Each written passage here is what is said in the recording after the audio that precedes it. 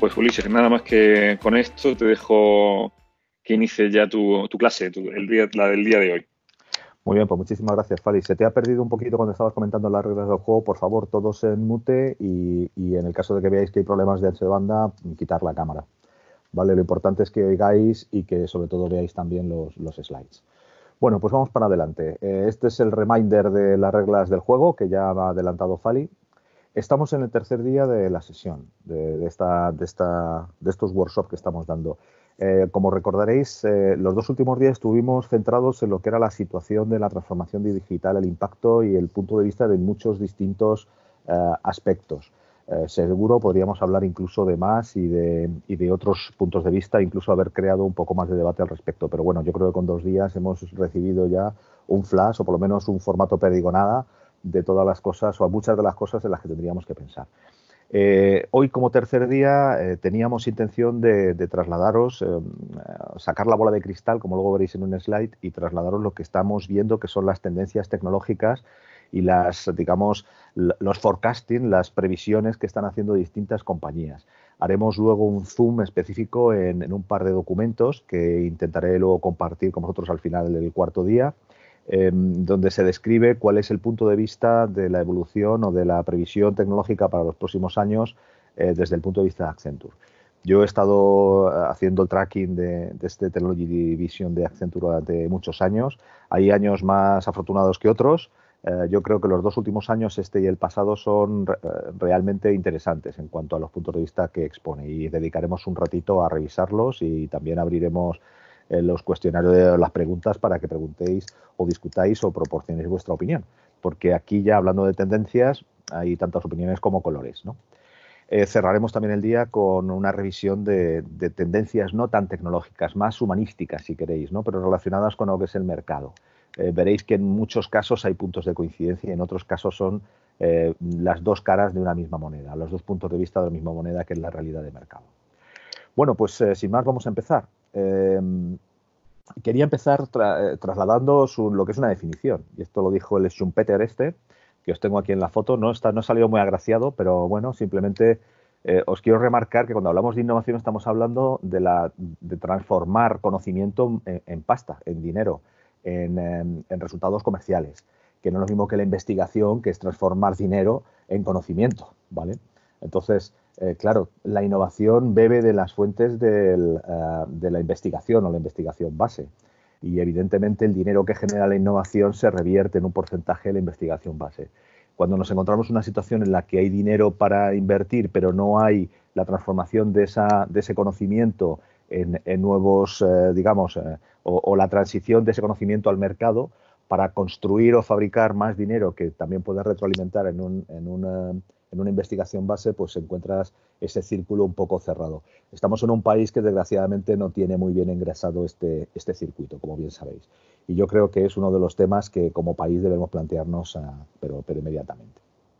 Bueno, también quería compartir con vosotros, esto es una gráfica un poco espesa, pero sí que describe un poco lo que ha sido la situación de mercado desde el punto de vista tecnológico en, los últimos años. Y hablo de los últimos 60 años, ¿para, ¿para qué vamos a ir más atrás? Fijaros que empezamos hablando de la máquina del test de Turing de los 50 y estamos viendo cómo diferentes oleadas tecnológicas han ido, bueno, teniendo una vida, un ciclo de vida y una caída. Estamos ahora en el momento que hemos marcado aquí con el, con el punteado. Voy a tirar otra vez de cacharrito de colores para, para ayudarme en la explicación. Estamos en esta parte en los últimos años ha habido un proceso de aceleración. Han convergido muchas, o habido una convergencia de muchas de estas tecnologías, tecnologías que eh, lejos de competir han cooperado y se han autoacelerado. Y entonces nos encontramos en los últimos años un crecimiento exponencial y un impacto exponencial en las tecnologías. Por eso, eh, recordáis que ayer y antes de ayer estuvimos hablando de ese, retorno al interés por la tecnología, eh, por la transformación que la tecnología puede, puede llevar a las compañías, a las empresas, a las organizaciones, a las instituciones y, la, nueva revalorización de lo que son los perfiles tecnológicos. Bueno, eh, simplemente que en esta explosión eh, tecnológica, pues hay algunas tecnologías que van avanzando más deprisa que otras. Por ejemplo, también he intentado poner gruesos. La inteligencia artificial está claramente entre los ganadores. Y está surgiendo alguna, como puede ser Quantum Computing, que, que es reciente, pero que es muy, muy prometedora. En cualquier caso, aquí tendremos el cloud, tendremos el tema de IoT, tenemos muchas tecnologías que habrá que tener en cuenta. Bueno, aquí tenéis el, mapa de, cuáles son los códigos de colores. Bueno, claro, con esta pléyade de tecnologías y esta colección de nombrajos, casi todos en inglés, que no nos preocupamos ya ni de traducirlos, pues nos encontramos realmente un poco entre perplejos en algunos casos, en otros casos preocupados y en otros casos sobrepasados. Y de hecho, acordaros cuando ya hablábamos del papel del CIO, cuando uno de los roles principales del CIO en esta nueva, en esta nueva etapa del CIO o esta nueva reinvención del rol del CIO es de, de Text Translator. Es decir, oye, todas estas tecnologías que a la mayoría de las organizaciones o a la organización les suenan a chino, oye, ¿esto qué significa? ¿Para qué sirve? ¿Cómo se puede emplear?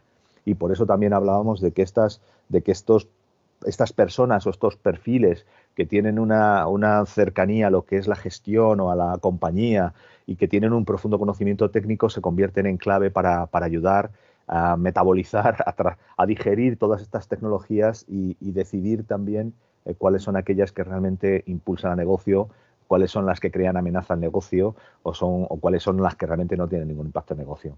En cualquier caso, nos encontramos ahora mismo con un momento muy dulce tecnológicamente hablando, en el que hay una dispersión brutal y un crecimiento exponencial en las diferentes disciplinas tecnológicas, en un porcentaje muy alto, informáticas o telemáticas, em, que crean ahora un momento muy, muy, divertido, muy entretenido de vivir y muy interesante en los próximos años para ver cómo evoluciona todo esto realmente se está entreviendo que la combinación de estas tecnologías, como ya venimos diciendo dos días, van a romper o van a disrumpir totalmente eh, los mercados, pero prácticamente todos los mercados. Ya recordáis que estuvimos viendo ayer en diferentes slides, os he puesto aquí algunas como recordatorio, pues colecciones de tecnologías y temas innovadores que se tenían que tener en cuenta dentro de lo que eran los programas realmente todas estas tecnologías, dependiendo de las industrias, con un mayor o menor nivel de penetración de estas tecnologías, lo que están haciendo es transformando. Y de hecho hay un llamamiento casi sistemático a las compañías para que repiensen o se reinventen teniendo en cuenta todas estas tecnologías desde el punto de vista de sus servicios, de sus productos, de su negocio. Realmente hace dos años el Technology Vision, por ejemplo, hacía hincapié exactamente en esto. Es decir, tú como compañía tienes que pensar definir la estrategia, redefinir la estrategia y decidir qué quieres ser de mayor, siendo mayor eh, dos años en adelante. Y cómo estas tecnologías te pueden ayudar, cuáles te pueden eh, crear una competencia adicional a la que ya tienes, cuáles van a facilitarte tu avance, qué tipos de servicios o negocios tienes que abandonar, en cuáles tienes que apostar, etcétera, etcétera. ¿vale?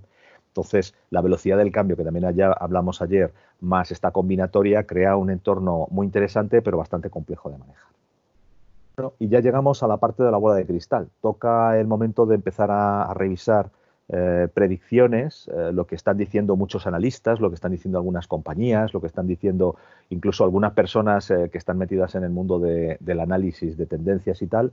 Y esperemos que suene algo más que a lo que ponemos aquí en la, piedra del forecasting, que me hizo mucha gracia cuando lo vi, que es casi de perogrullo. He, preparado unas tablas Excel espantosas, feas, porque como casi todos los materiales que yo hago no, pecan de, poca visibilidad, pero bastante, demasiado contenido, bastante contenido, y vamos a ir viendo eh, una a una. El MIT. Todos yo creo que conocéis quién es el MIT y a qué se dedica el MIT. Y el MIT es un ejemplo además claro de transferencia sistemática masiva a lo que es el mercado, la economía americana. Aquí he encontrado un documento, lo he puesto directamente en castellano porque me lo he encontrado traducido. Estoy suscrito al MIT desde hace ya tiempo y me llega un boletín en castellano donde hablaba de las tecnologías emergentes y veis aquí un poco de lo que está hablando, ¿no? El Internet imposible de hackear, que esto es la aplicación de tecnologías cuánticas al tema de comunicaciones y seguridad, la medicina personalizada, esto también tiene que ver con la inteligencia artificial y la capacidad de computación brutal en el análisis de moléculas, en el, en el protein folder, por ejemplo, que son casos que ahora mismo están saliendo noticias con el tema del COVID, se, están, se están montando, el otro día leí un, un artículo que decía que, que, el responsable de innovación de, de, IBM, que by the way es español, había montado un clúster de empresas para montar el, el mayor cloud de, de, superprocesamiento en Estados Unidos para, para ayudar al análisis de, del COVID y de las combinaciones, porque claro, todo esto tiene que ver con, con el análisis de, de variaciones o de posibilidades de, de, eh, digamos, de impacto que tiene el virus contra, contra los diferentes, a las diferentes tipologías de ADN o los diferentes enganches a las diferentes proteínas y cómo puede el virus atacar. Esto eh, realmente desde el punto de vista bioquímico, y no soy un experto, aunque he hecho algún, algún proyecto al respecto, eh, implica que tenemos que estar analizando la proteína con todas sus combinatorias para ver de qué forma encaja el, virus o de qué forma se puede pelear contra el virus o proteger a las, digamos, a las cadenas eh, contra el efecto del virus. ¿no? Otra tendencia es hablar del dinero digital, es decir, ya lo veréis en algún otro que están, están planteando que el dinero físico tal como lo conocemos, em, eh, pues prácticamente va a desaparecer. Ya vosotros probablemente estéis, eh, lo raro es salir de casa con, monedas y billetes, lo lógico es salir con tarjetas o incluso con el, con el Apple Pay o con el, eh, digamos, el dispositivo de pago móvil que, que corresponda. ¿no? Eh, también están hablando en el MIT que va a haber, y se están haciendo ya bastantes avances contra el envejecimiento. Es decir, no como veis, no solamente es tecnológico del mundo del IT, están hablando de muchos temas distintos. Pero todo esto tiene que ver con el impacto de la tecnología por debajo para facilitar estos avances. ¿no? O, por ejemplo, la inteligencia artificial capaz de descubrir moléculas, que es un poco lo que estaba comentando ahora la medicina hiperpersonalizada. Aquí la inteligencia artificial y la computación cuántica van a, van a dar bastante que hablar.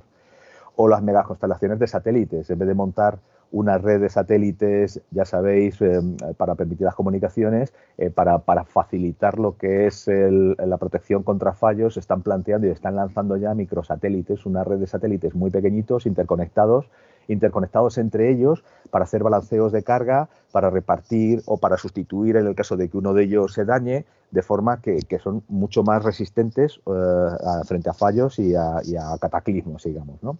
El tema de supremacía cuántica mm, se autoexplica. Ya sabéis la guerra que hay entre Google y IBM. El IA diminuta. Esto, esto tiene mucho que ver con, las problemáticas de Edge Computing. Hemos estado viendo que la inteligencia artificial está trabajando a escala. Para entrenar modelos manejamos terabytes y terabytes de datos con el sesgo que esos datos traen y trabajamos con enormes cloud y capacidad de procesamiento brutal para, para, obtener, digamos, los resultados, el entrenamiento de esos modelos o incluso eh, eh, el, cálculo o del resultado que estamos persiguiendo frente a una entrada adicional. Esto, claro, tiene una limitación, aunque 5G viene a facilitar eh, un poco lo que es el ancho de banda, pero la computación, aunque sea enorme y crezca de forma exponencial por la paralización de procesos, no es infinita. Y en cambio, las aplicaciones de inteligencia artificial crecen como, como las setas.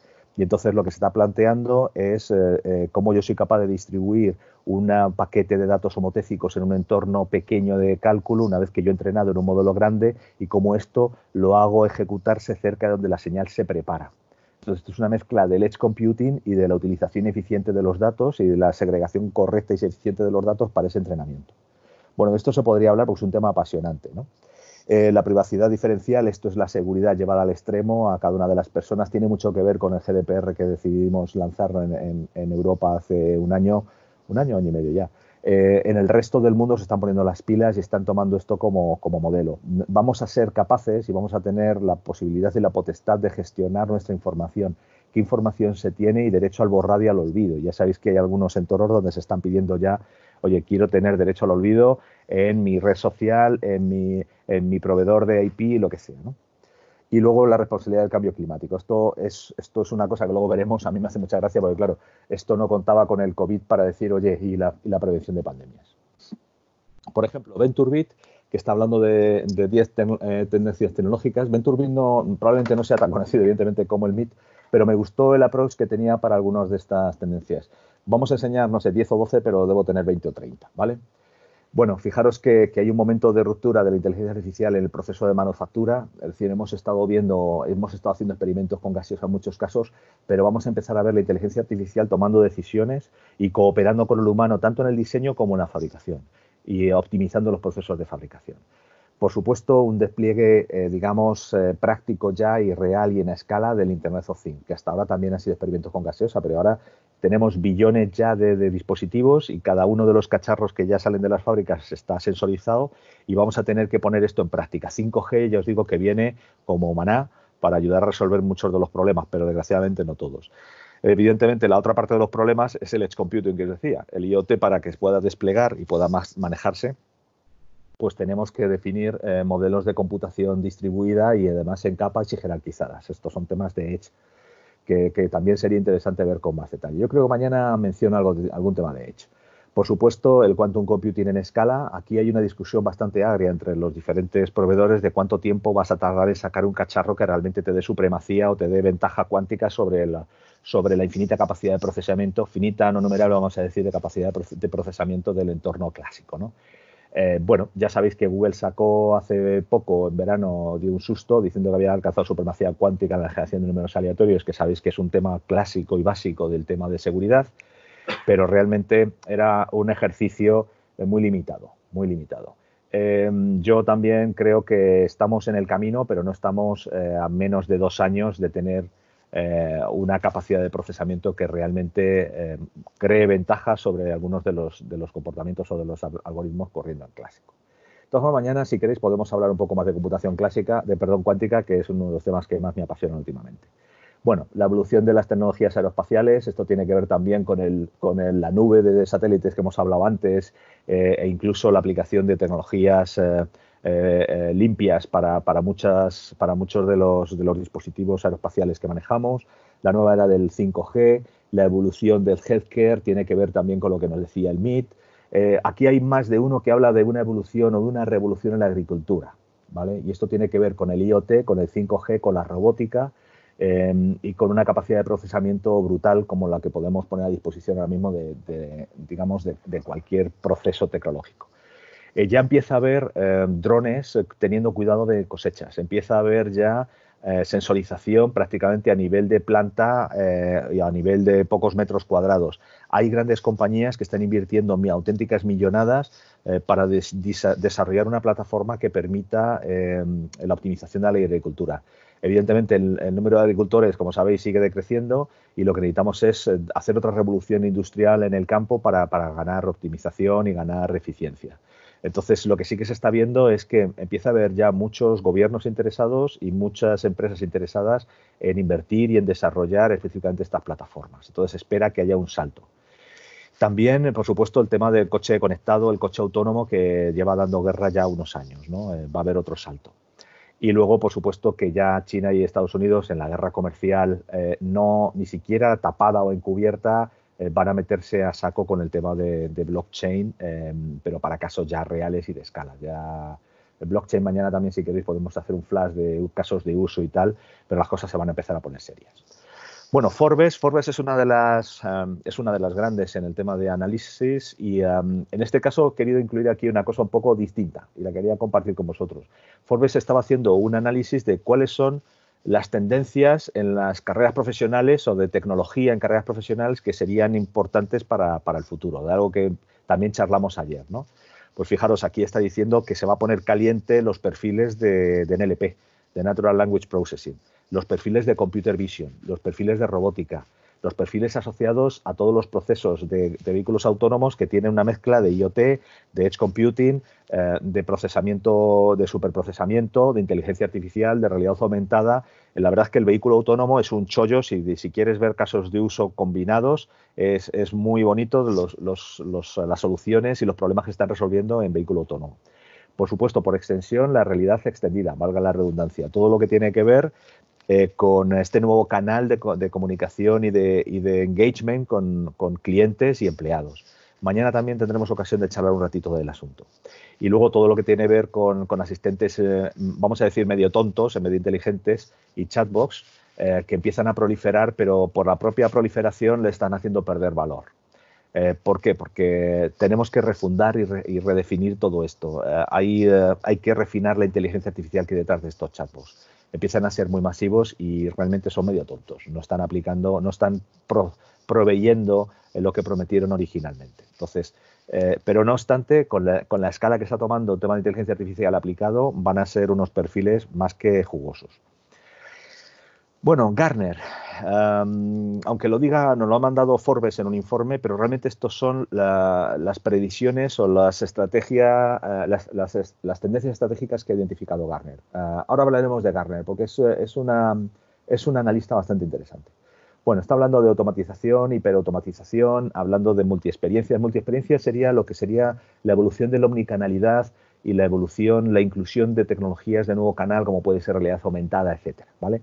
La democratización de la tecnología, esto ya lo llevamos viviendo desde el momento en que en el cloud eh, se subieron prácticamente todas las plataformas y se hizo fácil el consumo de esa tecnología. Lo que están diciendo es que va a continuar por esa línea. De hecho, prácticamente todas las nuevas tecnologías se están apoyando en el cloud, lo que hace fácil y accesible para empresas de todo tamaño el, acceder a esas tecnologías. Es decir, por ejemplo, la última que se ha sumado al carro, la computación cuántica. La computación cuántica, por el coste de estas máquinas, hace imposible a empresas de tamaño mediano o pequeño, o ya no digo startups, acceder a, esta tecnología si no fuera porque, por ejemplo, Amazon o OneQubit han creado plataformas donde cualquier compañía y pagando por uso puede acceder a los principales motores o a las principales herramientas de computación. entonces, prácticamente cualquiera sería capaz, digo prácticamente cualquiera, en un modelo de pago por uso, sería capaz de acceder y lanzar algoritmos contra esas máquinas, con limitaciones que yo también mañana comentamos si queréis. Todo lo que tiene que ver con, la, con el Human Augmentation, esto tiene que ver con construir superhumanos. ¿Esto qué significa? Significa que que tenemos limitaciones en nuestros sentidos, pero que las nuevas tecnologías de inteligencia artificial, realidad aumentada, etcétera, etcétera, nos están haciendo aumentar nuestras capacidades. Esto va de interacción entre el hombre y la máquina. Esto va de cómo podemos hacer y aplicar las tecnologías para acelerar lo que hacen los hombres o mejorar o mejorar la seguridad de los trabajos que hacen los hombres. Entonces, em, el tema de transparencia y trazabilidad tiene que ver sobre todo con, con temas de ética en inteligencia artificial hay un debate abierto muy fuerte donde la Comunidad Económica Europea, por ejemplo, creó un, debate, un grupo de expertos multinacional para definir cuáles serían, al estilo de que se hizo con GDPR, las reglas del juego o lo que se entiende como una ética eh, por la parte de Europa Occidental para limitar, controlar o, digamos, marcar barreras a lo que es el uso de la inteligencia artificial. Eh, ya han sacado un primer paper eh, describiendo cuáles son por una aproximación ética al uso de la inteligencia artificial. Uno de los temas que claramente eh, se está poniendo sobre la mesa es la necesidad de ser de, demostrar la trazabilidad de la decisión tomada por el robot de inteligencia artificial. ¿Vale? De eso también podemos charlar mañana si queréis un poquito más. por supuesto, Edge Computing como una tecnología emergente, que no es tan emergente, pues esto lleva inventado más tiempo que la tos, pero claro, eh, la democratización de los procesos, la capacidad de cálculo que nos da el cloud, los mejores anchos de banda, etcétera, etcétera, ha habilitado que el edge computing esté en su punto de madurez adecuado ahora para empezar a desplegarse. Realmente hay ya arquitecturas y hay vendors. Yo estuve haciendo un trabajo de análisis hace un par de años con grandes vendors, IBM, Microsoft, eh, Amazon, etcétera, etcétera, analizando cuáles eran sus, eh, sus stacks y cuáles eran sus arquitecturas propuestas de edge computing y hay algunas que están suficientemente maduras para desplegarlas en casos de uso reales. Y ya hay bastantes compañías trabajando en esta línea. De hecho, hay una, hay una especie de ecosistema de startups que están construyendo soluciones y a veces incluso dispositivos o plataformas para, para, estas tecnologías de computing. Bueno, el cloud distribuido y también aquí incluimos el multicloud, es decir, vamos a tener que empezar a coexistir y a permitir que los clouds se hablen y se comuniquen entre sí las cosas autónomas, si no hablamos de coche autónomo, hablamos de cosas autónomas, cosas que tienen vida. Tenía un compañero que decía em, cosas con alma. Y realmente es que podemos sensorizar y empezar a manejar y a controlar los comportamientos, las respuestas y las interacciones de prácticamente cualquier cacharro contra cualquier cacharro. Esto para los oldies era el machine to machine de hace unos años, pero llevando ya al extremo. Ah, casi prácticamente pues vas a poder relacionarte con cualquier cacharro, tendrá unas interfaces más o menos ricas o incluso los cacharros entre sí hablarán. Ya de hecho lo hacen en muchas, en muchas industrias, pero esto va a escalar. El blockchain, pero ya en casos prácticos. Yo en las discusiones que he mantenido con los expertos de blockchain que se me han puesto a tiro, yo creo que los casos más potentes de blockchain están en administración pública em, y, eh, digamos, en los grandes casos de blockchain Luego, claro, a nivel empresarial, pues hay un montón de casos de uso que ya están demostrados y funcionando, eh, que, a una escala distinta eh, hacen funcionar el blockchain con ventaja respecto a la computación, a la computación clásica. Eh, pero, por ejemplo, yo recuerdo el caso, yo creo que lo comentaremos mañana, el caso de la comunidad, no, perdón, de la ONU, que lanzó un programa hace tres o cuatro años de utilización de blockchain para lo que era identidad digital mundial de forma que tú, entre comillas, pudieras viajar con las manos en los bolsillos sin cargar con pasaporte, DNI, eh, billetes, etcétera, etcétera.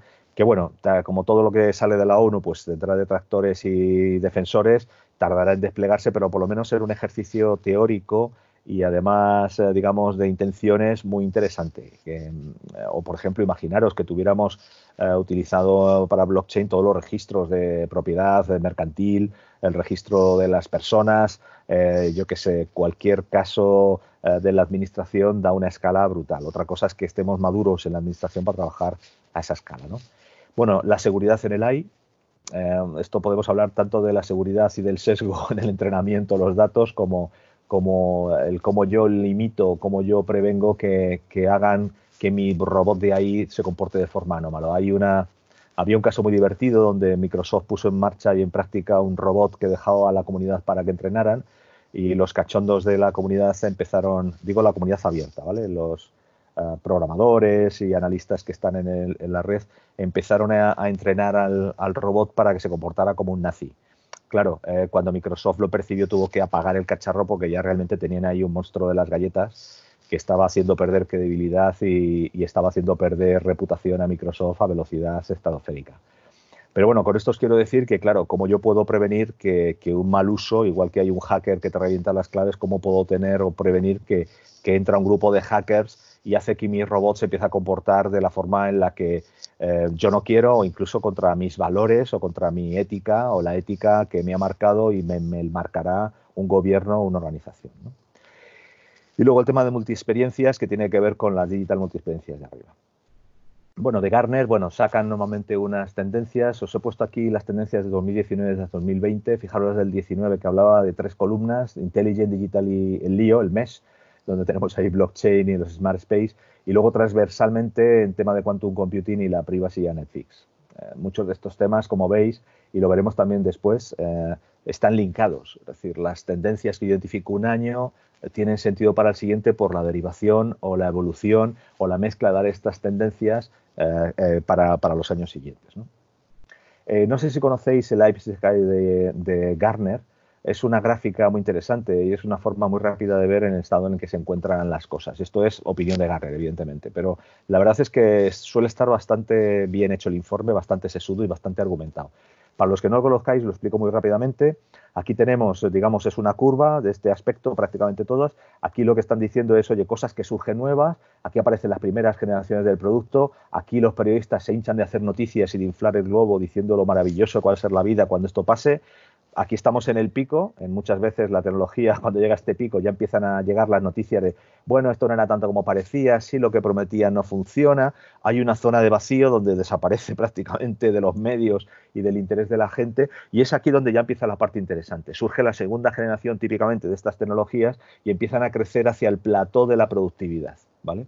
empieza a haber ya determinadas aproximaciones que sacan ventaja y uso de estos productos hasta que llegamos a un punto en donde ya se puede demostrar que empieza a haber adopción por parte de la sociedad, de las empresas o de, los procesos generales y empieza a haber retorno de la inversión y retorno de, lo que es el producto. Empieza a devolver las promesas que había hecho originalmente. Fijaros que en el life cycle de Garner, he puesto aquí en los del año pasado, estos señores eh, sueltan, eh, ponen el huevo en agosto, ¿vale? Entonces, eh, claro, ya ha pasado, han pasado ya unos meses, pero fijaros, en el life cycle de tecnologías emergentes, pues tenemos aquí lo mejor de cada casa. Tenemos desde la computación cuántica que está aquí escondida en la parte de ahí, pero tenemos datos sintéticos, el 5G que ahora mismo está en el pico y empezará a decepcionarlos según las reglas un poquito más adelante, la, analítica gráfica, el, vehículo autónomo ya de nivel 4, sabéis que hay ahí toda una regulación de cuál es el nivel de autonomía en el que puedan moverse los vehículos, o ya un poco más haciendo zoom en temas de inteligencia artificial, pues desde, como decía, por aquí anda el quantum computing hasta lo que está ahora en el tope, que es el, el machine learning automático.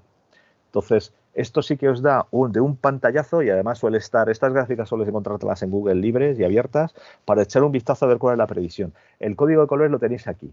En lo que está diciendo, por ejemplo, de esta bolita azul es que esto estará maduro de 2 a 5 años o esta que estará madura en 10 años. Por ejemplo, la cuántica dice que estará madura en 10 años. Yo creo que les daremos un susto a los de Gartner, pero, pero bueno, habrá años por medio. Vale, simplemente para que entendierais un poco cómo funcionan. Gartner, por lo tanto, saca un informe que está hablando de tendencias tecnológicas y mantiene más o menos fresco estos Gartner Hype Cycle con las tecnologías emergentes. Esta información suele estar bastante interesante de revisar. Bueno, seguimos con el bombardeo. Deloitte. Deloitte es una consultora, como conocéis, eh, ha desarrollado su negocio digital los últimos años y también está sacando tendencias tecnológicas. Aquí lo que está diciendo, como veis, es más em, parca en, el volumen, en el número. Está hablando de las marcotecnologías, de la ética, de lo que también hemos hablado, las finanzas del futuro, que tiene que ver con el, con el futuro sin dinero metálico físico, el Digital Twins, que es la duplicación de los entornos en entorno digital para analizar para probar o incluso para simular o, utilizar en remoto. Es muy interesante esta tecnología, pero para mí es un set de otras tecnologías. Las experiencias, eh, las plataformas para experiencia humana, aquí tienes que ver, tiene que ver con el XR, con las omnicanalidades de verdad, etcétera, ¿no? y las arquitecturas. Bueno, esto es la AEC, la Asociación Española de Consultoría, saca también unas tendencias tecnológicas. A mí estas, la verdad es que no me emocionan demasiado, pero he querido reflejarlas porque también en España hay gente que se dedica a hacer estos análisis, ¿no? Pues hablan de cosas como no tan filosóficas como las que hemos visto antes, un poco más de a tiro hecho, ¿no? El 5G, el Wi-Fi 6, este me encantó. La analítica avanzada de datos, que yo para mí esto es de hace, no sé, cinco años eh, la inteligencia artificial, ¿vale? Blockchain, aquí no están, no están gastando mucha pólvora porque como veis también están disparando sobre temas. Esto no sé qué, por qué lo están metiendo, los, los PCs siempre conectados. Bueno, ¿vale? Drones, automatización, RPA es robotics, automatización de procesos. Y luego todo como servicio y la privacidad. Bueno, simplemente como queda como anecdótico. Forrester, otra de las grandes, nos está haciendo sus propias predicciones. Aquí he puesto el informe del que sale, predicción 2020, en el principio del, tiro del cambio del, largo alcance. Bueno, em, los, los, consumidores, los clientes están buscando eh, un significado más profundo. Esto también aparece con otro texto en, otros, en otras tendencias. Es decir, ya no solamente pedimos que el producto sea bueno, sino que el que me da el producto sea una empresa que tenga compromiso con la sociedad, compromiso con el medio ambiente, que tenga una responsabilidad social, etcétera, etcétera. El consumidor ya no solamente está consumiendo, sino también está exigiendo a los productores que tengan unos valores. Vale, fenomenal. El CMO, en este caso es marketing, ¿vale? Eh, está volviendo a, revisar el valor de, lo que es lo del trabajo que están haciendo, el valor de cada cliente. Perfecto. El CEO se pone otra vez de la parte de las personas, no tanto de las tecnologías. Luego ya hablaremos de esto bueno, tecnologías como, eh, como Extended Reality, eh, digamos el tema de los Omni, toda la parte de, la experiencia de los usuarios, toda la estrategia de datos ahora mismo desbloquea las transformaciones, es decir, ya tenemos capacidad de hacer prácticamente con datos, de generar calidad en los datos, arquitectura de datos, consumo de datos, que hagan que toda esta transformación eh, se acelere y se, y se maneje propiamente. Muchos de los problemas que teníamos para estas tecnologías es que o no había datos o datos suficientemente eh, buenos o suficientes en volumen. ¿no? Bueno, eh, aquí hay algo que sí que está sucediendo ya, que son los datos y la inteligencia artificial se están convirtiendo en armas, ¿vale? Y lo estamos viendo en la guerra no sorda, como antes decía, entre América, eh, China, Estados Unidos, China y Europa como el hermano pobre de, esta pelea, ¿no? el, boxeador con los puños más pequeños y el más bajito. Bueno, temas de seguridad que tienen que, tienen que seguir desarrollándose, incluyéndose en prácticamente todas las agendas. ¿Vale? La automatización de las workforces, que también hablamos algo ayer. El tema de regulaciones que tienen que estructurar el mercado, esto tiene que ver con la ética que hemos hablado antes. ¿Vale? Y bueno, eh, la profitability, es decir, la rentabilidad que vuelve a ser el unicornio y vuelve a ser el, el marcador. Esto es curioso, pero yo lo he vivido, por ejemplo, en Alemania. Alemania hizo unas inversiones terroríficas en transformación digital en los últimos años. ¿Qué es lo que ha sucedido?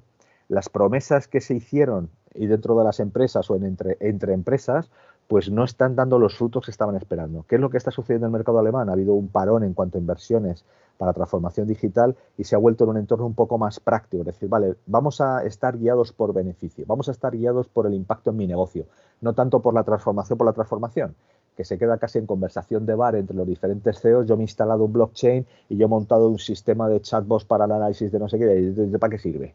No, no, pero queda fenomenal. Las discusiones de bar quedas como un campeón, ¿vale? Entonces eh, hay que volver otra vez al, origen, es decir, eh, para qué y qué sentido tiene estas inversiones y este desarrollo tecnológico y cuál es el impacto que está en el negocio, en mis clientes o en mis empleados. De eso hablamos también ayer. Bueno, he incluido también aquí un informe que, que he tropezado con el de Telefónica, relativamente interesante. Aquí lo que describen es a tres velocidades. Lo que está pasando hoy, que tampoco descubre la pólvora, cloud, el IoT, ciberseguridad, Big Data. Big Data, ya, bueno, ya he hablado de esto hace nueve años o diez. Regulación eh, para temas de seguridad e inteligencia artificial. Vale, fenomenal, esto está corriendo hoy. Eh, y blockchain, perdón. Y luego lo que pasa o va a pasar a corto o medio plazo, en, digamos multicloud, es decir, la comunicación que hemos comentado antes de cloud, el S computing, el 5G, que esto ya casi está pasando, y las experiencia, la experiencia inmersiva, es decir, la realidad virtual o realidad extendida que empieza, mm, pasa de ser una promesa a ser ya una realidad eh, suficientemente, eh, como diría yo, eh, performante, con rendimientos suficientemente buenos. Y esto no veremos rendimientos suficientemente buenos hasta dentro de unos años, porque la tecnología y los dispositivos, entre el precio y el rendimiento, todavía no están dando las capacidades que prometían. Pero bueno, van en el buen camino. Y luego ya a largo, largo, pues tenemos pues los smart, el Smart Building, el Smart Workplace, el Smart todo, incluido el Smart Vehicle, que es el vehículo autónomo. Dice, lo que están diciendo es, oye, hay unas tecnologías que ya están maduras hoy, hay otras que están explotando a medio plazo o casi a corto, y luego esto tendrá un impacto en desarrollo de todo lo que es el mundo smart. Igual os suena de hace años ya el Smart City y esas cosas. Eh, el Smart City era casi experimentos que estaban bien pagados por las administraciones para demostrar la viabilidad y la, digamos, cómo podías automatizar una ciudad pero que se han quedado ahí un poco aparcadas, un poco atascadas y están esperando a la llegada del 5G para darle otro empujón al asunto. Es que Telefónica incluso ha marcado, ha montado unos cuadrantes de disruptivo, incremental, estratégico y táctico para cualificar y clasificar todas estas tecnologías, en cuáles son las disruptivas estratégicas o las tácticas incrementales. Pero vamos, no vamos a entrar en el detalle de esto porque podría ser muy proceloso. Probablemente si tenéis un ratito, ahora en el encierro podéis revisarlo. Bueno, Peter Diamandis. Este tío es un tío muy curioso. Es un americano que ha montado inicialmente una red de distribución y que está mandando, pues, por ejemplo, boletines semanales de las innovaciones que van apareciendo. Yo le sigo de hace ya una temporada y también me llegó el informe respecto a las megatendencias que estaba viendo este hombre para los próximos años. los próximos años para él era una década, no dispara con pólvora del rey. Pero bueno, eh, había algunos temas que eran interesantes y quería compartir con vosotros. No, vamos, no voy a ser, eh, digamos, intensivo eh, en todo ello, pero aquí se puede reconocer cosas, pues, pues como por ejemplo el tema de la realidad aumentada que aparece por varios sitios, el vehículo autónomo, en fin, eh, un, montón, un montón de las tecnologías o un montón de las tendencias que hemos visto antes. Es curioso el cómo maneja este señor. De hecho, el otro día habría un buzón de, para contratar más gente, para, para montar otros equipos de análisis, porque está empezando a tener cierta relevancia en algunos ámbitos. ¿no? Y simplemente estar un poco al día de los boletines que manda con las innovaciones y las aplicaciones. Innovaciones recordando lo que os decía, cómo convierto el conocimiento en dinero, cómo convierto el conocimiento en, valor, en valor para la sociedad o para, la, o para el mercado. Eh, manda esos boletines con ejemplos eh, ilustrativos de cada uno de los, de los temas que, cuenta. Entonces, simplemente que lo tengáis en el radar. Bueno, llegamos a Accenture. Accenture se emite dos informes interesantes al año. Uno es el Tenor Division y otro es el, Ford, el Fjord Trends. Fjord Trends eh, es, una, es un informe que es para mí el otro, la, otra cara de la moneda del informe de tecnología. ¿vale? el Tenor Division del 20, que luego veremos con más detalle, habla de cinco. Básicamente la experiencia de cada persona, ¿vale? la personalización, la inteligencia artificial también de cara a las personas, el dilema de los Smart Things, que realmente esto es el mundo de la beta, para que nos entendamos, robots eh, por todos los lados, llega la, hora, la era de los robots y la innovación eh, dentro de la compañía y cómo se mantiene, sostiene, persigue, eh, se fomenta, se crea y se captura esa innovación. Bueno, estas son em, las Fjord Trends de este año. También habla de cómo el crecimiento, y esta es la parte, digamos, la otra parte de la moneda, la parte, si queréis, más social, ¿no?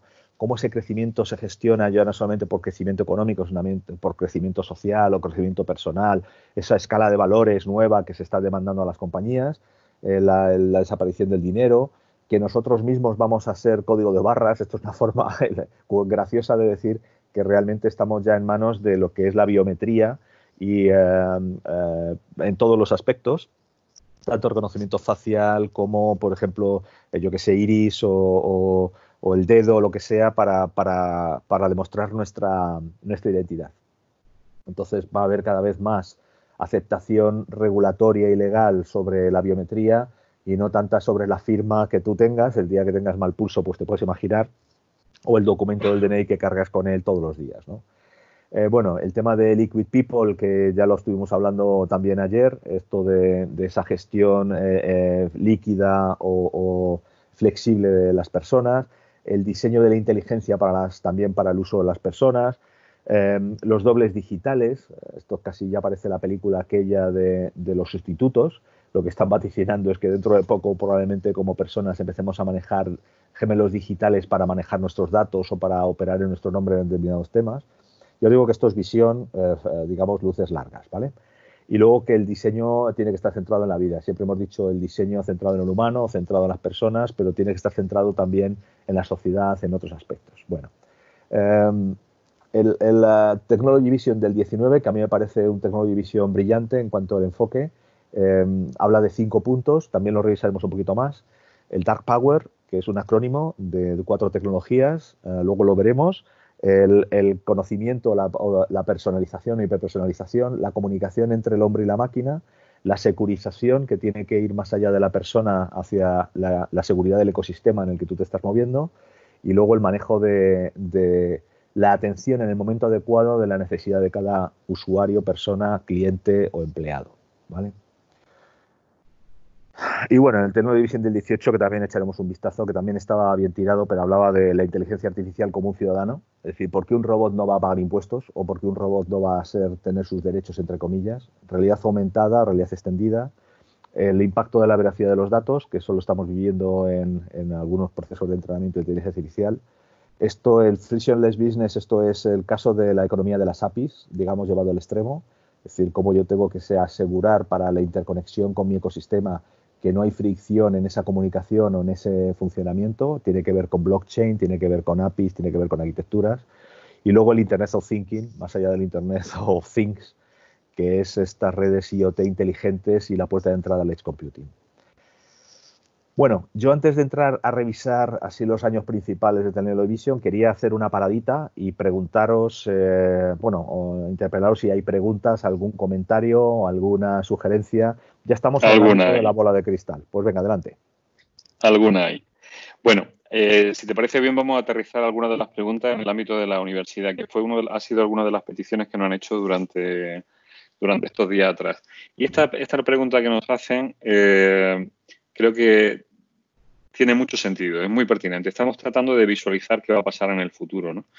Y se supone que estamos en una institución, la, universidad, que debe de participar en la construcción de esa visión de futuro a través de, como receptores de financiación orientada a la investigación, y esa investigación es parte de esa construcción del futuro. Pero claro, nos, eh, nos pregunta en este caso eh, un compañero ¿Es necesario que la universidad cuente con consultoras para ver el futuro? ¿O es eh, la universidad la que debe de asumir ser parte de esa visualización del futuro? Porque eh, para, mí, es lo segundo, evidentemente. La universidad tiene voz. Acordaros que el primer informe que os he enseñado emite, lo emite el MIT. Efectivamente. ¿por, qué no va a tener la Politécnica un, un Technology Vision? Es decir, por decir algo, ¿eh? por hablar, porque estamos en la Politécnica. Oye, ¿cuál es eh, lo que está viendo la Politécnica eh, que va a pasar con las tecnologías a 3, 5, 10 años, que es típicamente los marcos en los que está trabajando a corto, medio, largo plazo. ¿Por qué no? ¿Por qué no va a colaborar la Politécnica con Deloitte o con Accenture en elaborar eh, un informe? A lo mejor no a nivel mundial, como estoy enseñando, que son prácticamente todos los informes, pero sí a nivel local. Oye, ¿cómo, ¿cuáles son las tendencias tecnológicas que van a pitar en España o van a pitar en nuestro ecosistema? Yo para mí eh, esto es eh, simplemente el plantearnos y tener la intención de participar dentro de estas discusiones. Aparte de la visibilidad que te da y el mensaje que trasladas, es también una apuesta de posición y una apuesta por parte de, la gente que está dentro de la universidad eh, para ver, primero, si somos capaces de predecir y segundo, si lo que estamos lo estamos haciendo como predicción luego tiene sentido y se, y se ve realizado, se ve ejecutado. Es una toma de riesgo, pero yo creo que se tendría sentido. Perdona, Fali, decías. Sí, yo te digo que yo tengo mi opinión al respecto eh, y que la voy a manifestar y es simplemente que la universidad debe de ser parte de la alimentación de estos, de estos informes siendo referente, igual que en este caso hacemos referencia al MIT. ¿no? Por lo tanto, no, debe de ser eh, consumidor de productos de visión, sino generador de productos de visión. Pero es cierto que ahora muchas universidades están recibiendo por parte de, las consultoras, de Accenture, de Deloitte, de Carner, de KPMG, etcétera, eh, ofertas para participar en sus, en sus eh, programas de formación, aportando su, su, capacidad de ese radar, ese telescopio, eh, para poder ayudarle a formular su visión de, académica de futuro. ¿Qué opinión te, trae esto? Yo esto lo mismo, más o menos en la misma línea que os comenté ayer, eh, cuando me preguntabais al final.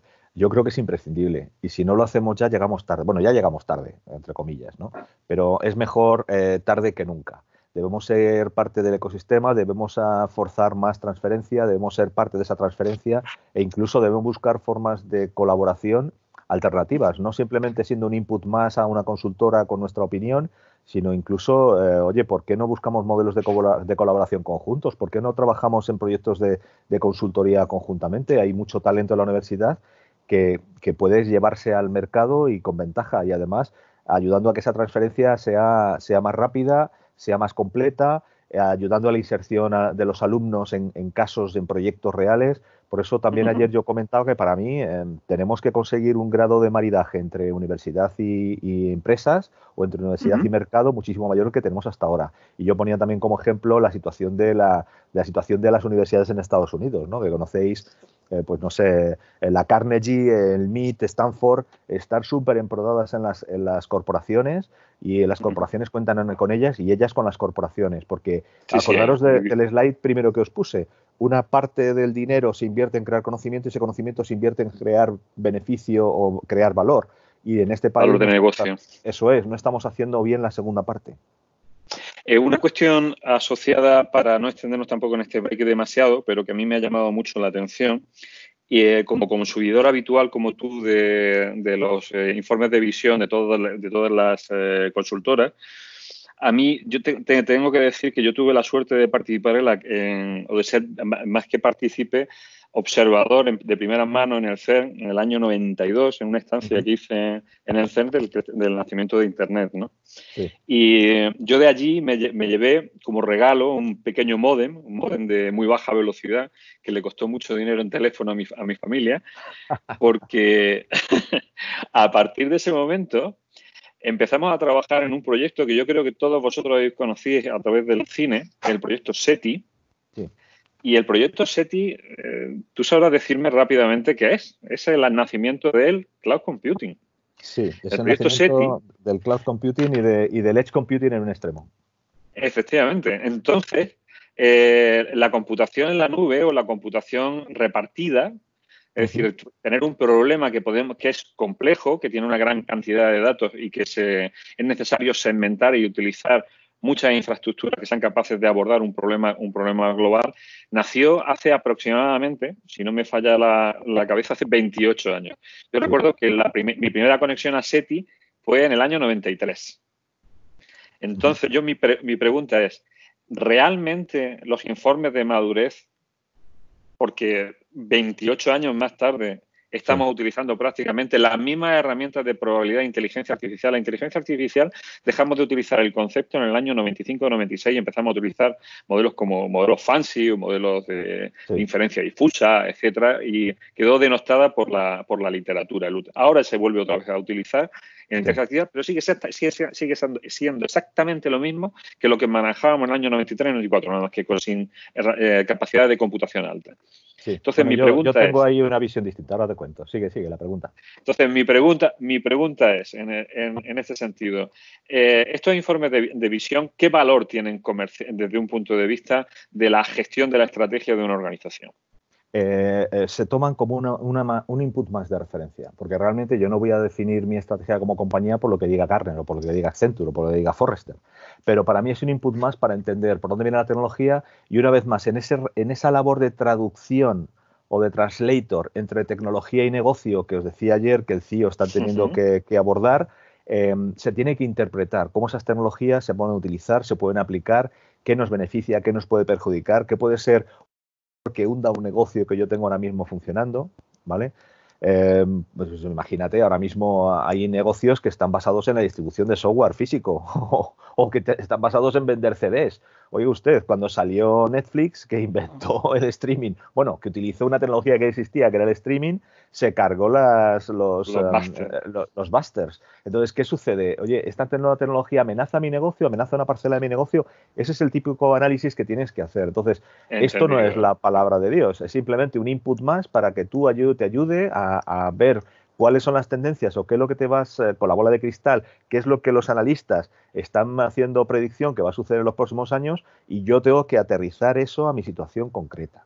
Yo tengo que utilizar ese input para decir, oye, con mi estrategia o la definición de mi estrategia, oye, a la vista de lo que se está entreviendo, esta, este punto de la estrategia se tiene que modificar, lo tengo que ampliar, lo tengo que eliminar o tengo que incluir un punto nuevo. Simplemente ¿Puede ser eso gestión de riesgo, Ulises? Una vez más, sí. Una vez más, eh. en algunos, en algunos aspectos sí, en algunos aspectos sí. Ah. Respecto a la inteligencia artificial, porque yo hice inteligencia artificial también en el año ochenta y tanto, cuando estaba en la universidad. Yo, yo lo describo de una forma también, me gusta hacerlo como imagen, ¿no? La inteligencia artificial que yo viví en los 80 y en principio de los 90 era álgebra, ¿vale? Y la inteligencia artificial que tenemos ahora mismo es cálculo. Entonces, la gran diferencia la ha marcado la capacidad de procesamiento que tenemos y la, capacidad de manejo de datos que ha, resucitado, el, eh, digamos, la inteligencia artificial basada en cálculo, eh, y basado en modelos analíticos, predictivos, etcétera. Estadística, quizás, ¿no? Yo, quizás lo metaría estadística. y, eh, para mí es analítica predictiva. A mí lo que realmente ha cambiado la cara del asunto es la, eh, la, inferencia en la analítica predictiva, proyectada, evidentemente. Pero bueno, esto cuando madura una parte tecnológica que ayuda al desarrollo, que ya estaba escrita, la inteligencia artificial es del siglo XIX. La analítica predictiva viene del siglo XIX. Eh, cuando hemos tenido capacidad de cálculo suficiente y datos suficientes es cuando ha explotado. Y cuando se empiezan a aplicar, se convierte y se innova, se convierte ese conocimiento en valor, es cuando aparecen realmente los saltos eh, significativos en el uso. No te interrumpo más. Eh, si quieres el resto de preguntas, lo dejamos para el final. A mí me mola más comentar que enseñar slides, ¿eh? Pero bueno, seguimos adelante, venga. vamos ya a pillar de tiempo, de gracias esta. Eh, bueno, eh, como veis aquí hay, una, hay unos diferentes eh, títulos para diferentes Technology Vision, del 2013 al 2017. Realmente lo voy a pasar a la velocidad de la luz simplemente como referencia. Fijaros que en el 2013 ya se empezaba a hablar de que cada negocio es un negocio digital. 2013, hace siete años, ya se decía que todos los negocios se preveían que van a ser digitales, que es la situación que tenemos ahora mismo. En 2014 ya hablaban de disrupción digital. ¿Quieres ser disrumpido o quieres ser disruptor? Básicamente en el 2015 decíamos, oye, hay que romper las barreras de lo que está sucediendo en, o lo que está sucediendo en los diferentes mercados. Es la hora de eh, arriesgar, de definir eh, nuevos negocios. El 16 ya se hablaba, oye, si llevamos a la tecnología ya unos cuantos años, eh, volvamos otra vez a la gente. Volvamos, hay que poner a la gente en el centro de todo esto. No es un instrumento, es para lo que se hace toda, toda esta transformación digital y además hay que dar el valor que la gente tiene en esta transformación. Y luego ya el 17 ya hablaba de la tecnología de la gente para la gente. O sea, estamos volviendo otra vez a, poner al en el centro al hombre. Bueno, voy a ir a toda leche. Eh, aquí simplemente veis en cada uno de estos informes, eh, esto sucede desde hace unos años en la mayoría de los analistas importantes o eh, razonables. Hay una trazabilidad, igual que estamos pidiendo a la inteligencia artificial, entre lo que se ha dicho en el 2013 que va a suceder y cómo eso está impactando y se está mezclando para las nuevas tendencias del 2014 o las nuevas tendencias del 2015. Con lo cual, por ejemplo, las relaciones a escala han tenido impacto en lo que era el Digital Physical Blur, que luego se ha movido al Outcome Economy. Fenomenal simplemente te permite hacer una trazabilidad de lo que se ha estado comentando, con lo cual tiene valor incluso que mantengas referencia de los años pasados para que releas lo que ha sucedido, lo que estaban diciendo que sucedía y cómo eso se ha cambiado en las, en las tendencias de los siguientes años. O se ha ido moderando, o se ha ido modulando, o se ha ido, eh, digamos, modificando. Bueno, yo voy rápido hasta el Technology Vision 19, que creo que es el que tenemos más cerca y que puede ser interesante. Bueno, este tampoco estaba mal, ¿eh? porque estaba hablando, yo me acuerdo, me acuerdo, hice unas risas en el Mobile World Congress del año 18, porque yo llevaba el año 17 hablando de la inteligencia artificial como la, nueva interfase. Y me hizo mucha gracia ver que en el Mobile World Congress del año 18 el, top, el trending topic de todo el mundo era eh, asistentes virtuales como interfaces para la relación con la persona, utilizando bot, chat, etcétera, ¿no?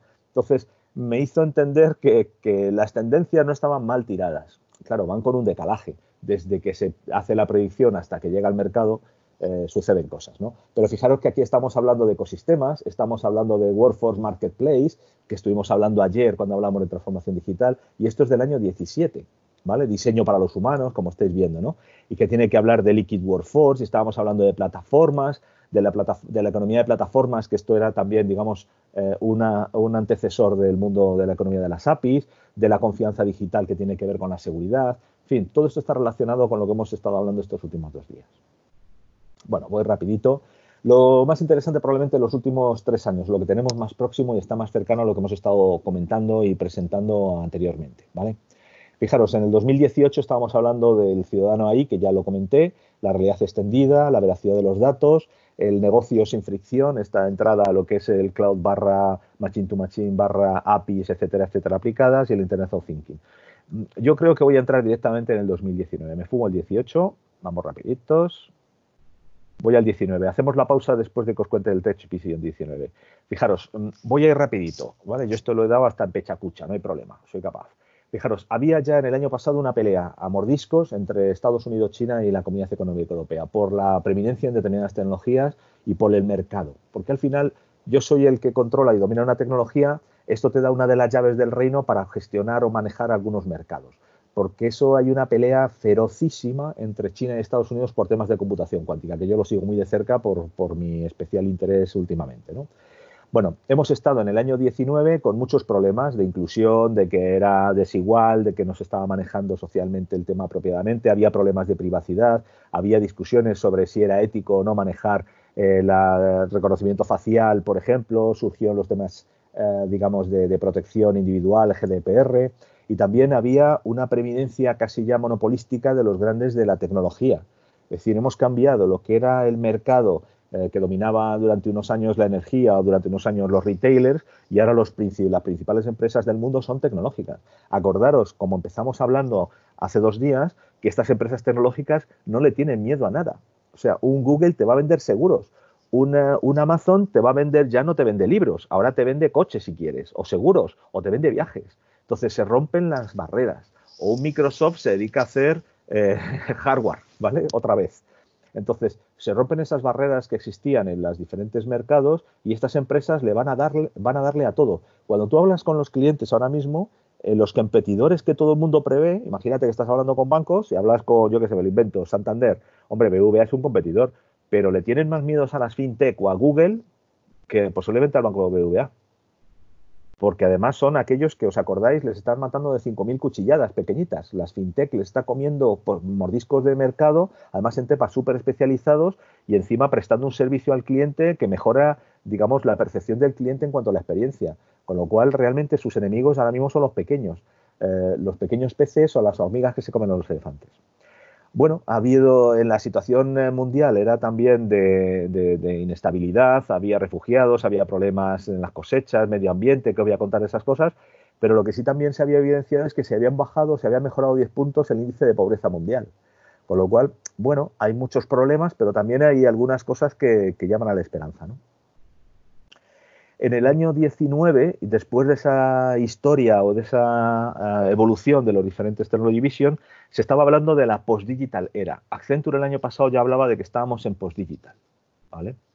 Y estábamos hablando de post-digital, eh, aunque no hayamos llegado a concluir o a, concertar el mundo digital en la mayoría de las empresas, y estaba hablando además que, que, toda la transformación digital ahora mismo no es que sea diferencial, es que es el precio de admisión para poder seguir jugando tienes que hacer esta transformación digital. Si no la has hecho ya tardas. Este es un poco el mensaje, ¿no? Y el mensaje, logo era la individualización y la demanda instantánea. Es decir, la respuesta, si te quieres ganar a tu cliente, quieres mejorar la experiencia, tienes que ganarte la individualización, el conocimiento de esos clientes y además dándole la respuesta que necesita cuando la necesita y donde la necesita. Había cinco tendencias, dejo esta para postre, que es mi favorita porque es la más tecnológica, pero estaba diciendo exactamente eso con toda la información que nuestras empresas están recogiendo y que yo como, digamos, eh, consumidor estoy proveyendo a base de marcar flags cuando instalo aplicaciones y cuando firmo contratos y tal, le estoy entregando, regalando un montón de información, yo que menos que debo exigir a, mis, a las compañías con las que trabajo es que me conozcan y que me ofrezcan cosas que, que tengan valor y que tengan sentido para mí en el momento en el que yo lo necesito. Otro tema importantísimo, oigan, ya los robots han llegado, eh, pero hay que empezar a interactuar con ellos. Esto tiene que ver con un libro que también escribió Paul Dougherty hace dos años, que hablaba de esa interacción entre el hombre y la máquina, y que hablaba de los superhombres, porque estaban em, mejoradas sus condiciones, sus sentidos, su conocimiento, su capacidad de, eh, raciocinio, el acceso, tenían el brazo infinitamente largo, eh, podían simular o emular, tenían una visión acelerada y, la inteligencia artificial les daba superpoderes para entender eh, incluso para traducir en línea. Toda esa interacción entre el hombre y la máquina implicaba nuevos, nuevos retos y también nuevas oportunidades. La seguridad. La seguridad ya no es una seguridad mía. Es decir, aquí hablábamos, por ejemplo, de ejemplos concretos. Eh, ya se ha hecho la primera prueba de concepto a nivel sistema bancario americano de un ataque masivo de hackers. Y no es el Bank of America o el JP Morgan. Es que como todo está interconectado y todos estos eh, son parte del mismo ecosistema, es la seguridad del más, eh, digamos, del más débil la que marca la seguridad máxima de un ecosistema. Y esto significa que si yo estoy conectado con el JP Morgan y el JP Morgan tiene un hueco de seguridad y los hackers entran por ahí, se han colado en el Bank of America. Entonces se están empezando a trabajar y se está empezando a hablar de la seguridad de los ecosistemas. Eres tan seguro como el ecosistema en el que te mueves y tienes que asegurar eh, tu seguridad, entre comillas, y, con, y valga la redundancia, de tu compañía, pero también de tu ecosistema, en el ecosistema en el que te mueves. Y entonces estaba hablando de que las empresas ya ahora mismo son vectores de, los problemas de seguridad, ya no son solamente las víctimas, las víctimas en última instancia son los consumidores. Y bueno, y por último, esto era una invitación al Google, perdón, al, um, a la computación en Edge y al tema de asegurar que este conocimiento que yo tengo y recojo aquí se aplica y se provee en el momento y en el instante apropiado. Entonces estamos hablando de la apología del IoT, del Edge Computing y de inteligencia artificial para entender en qué momento yo tengo que dar un material o tengo que dar una respuesta o tengo que ofrecer algo a alguien. Y aquí se hablaba de un caso muy divertido donde se había aplicado tecnología predictiva en un proceso de producción y habían reducido dramáticamente los costes, porque antes de que se estropeara una máquina o hubiera un, defecto en la previsión de determinada pieza, eh, la máquina te la estaba, una máquina 3D te estaba imprimiendo la pieza equivalente para que hiciera la sustitución y te mandaba la cuadrilla, porque habíamos hecho un análisis predictivo del comportamiento del proceso de producción, te llegaba el mantenimiento predictivo que te cambiaba la pieza antes de que realmente te parara la producción. Entonces, Fijaros, es un caso, si queréis, muy extremo, pero de provisión de lo que necesita la cadena para seguir funcionando antes de que incluso la cadena lo sepa, antes de que falle, ya estoy sustituyendo las piezas, ¿vale? Y esto es, digamos, si queréis, la parte más, eh, eh, si queréis, más abstracta.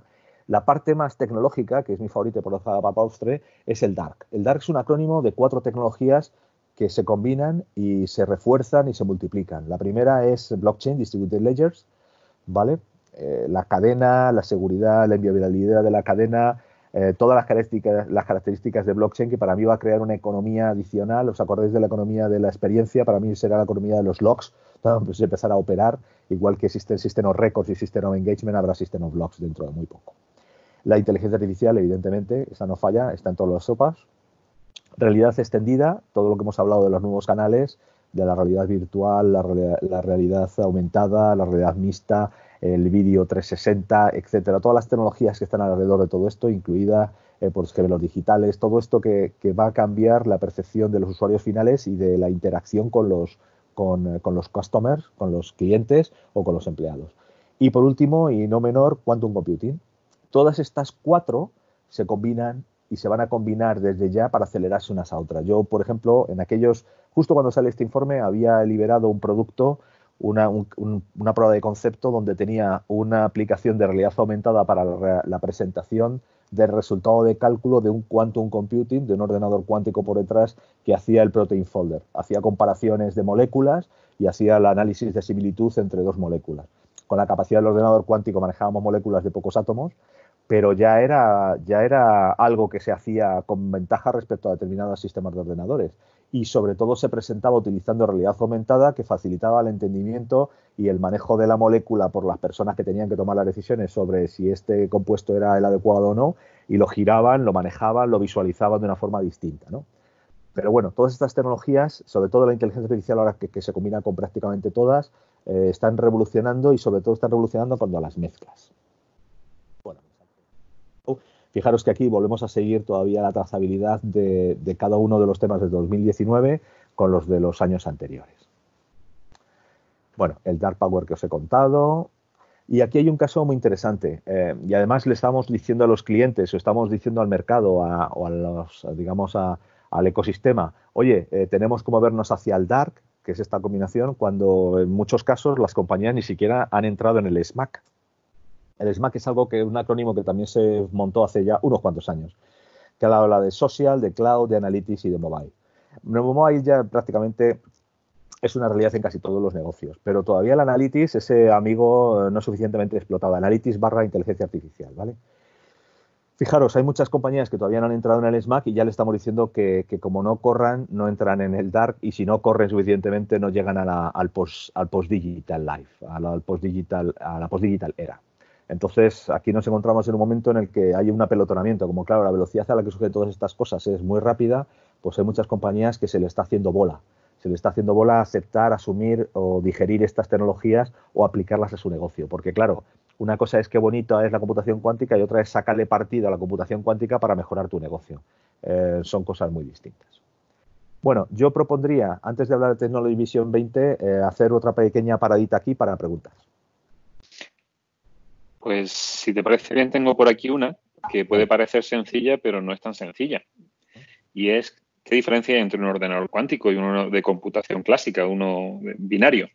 Vale, yo mañana, si queréis, lo cuento con detalle, pero hablando en plata, el ordenador clásico está basado en una álgebra booleana, en una, en, digamos, por así decirlo, en puertas lógicas Em, el ordenador cuántico está basado no en una álgebra booleana, sino en funciones físicas que estamos aprovechando, tomando ventaja eh, para, hacer cálculos en nuestro nombre. No puedes hacer cualquier tipo de cálculo hoy por hoy. Hay ordenadores cuánticos que sirven para, por ejemplo, optimización y otros para carácter general. Los de carácter general tienen muy poca potencia, pero están basados en tres principios de la física cuántica. El primero es la superposición, que lo que te dice es que un bit cuántico, un qubit, puede estar a la vez en el 0 y en el 1. Nosotros un bit es inamovible, o es 0 o es 1, se ha acabado. Un bit cuántico puede estar en cualquier combinación entre 0 y 1 y la representación, para que lo tengáis eh, visualizado, un bit para nosotros sería un switch, un interruptor, arriba o abajo. Un qubit sería una esfera de Bloch, donde cualquier punto de la superficie de la esfera es un valor válido para un, para un qubit en un momento determinado.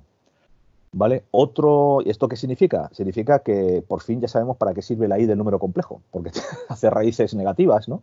Y gestionas, gestionas el vector desde, digamos, el, punto central de la esfera hacia cualquier punto de la esfera, ¿no? Eh, el segundo concepto con el que nos manejamos en, computación cuántica es, es el entanglement, es, la, es la, el enlace entre elementos. Es decir, por ejemplo, yo tengo la posibilidad y hay puertas eh, cuánticas que me permiten conectar dos, dos qubits, enlazarlos, ¿vale? Entrelazarlos.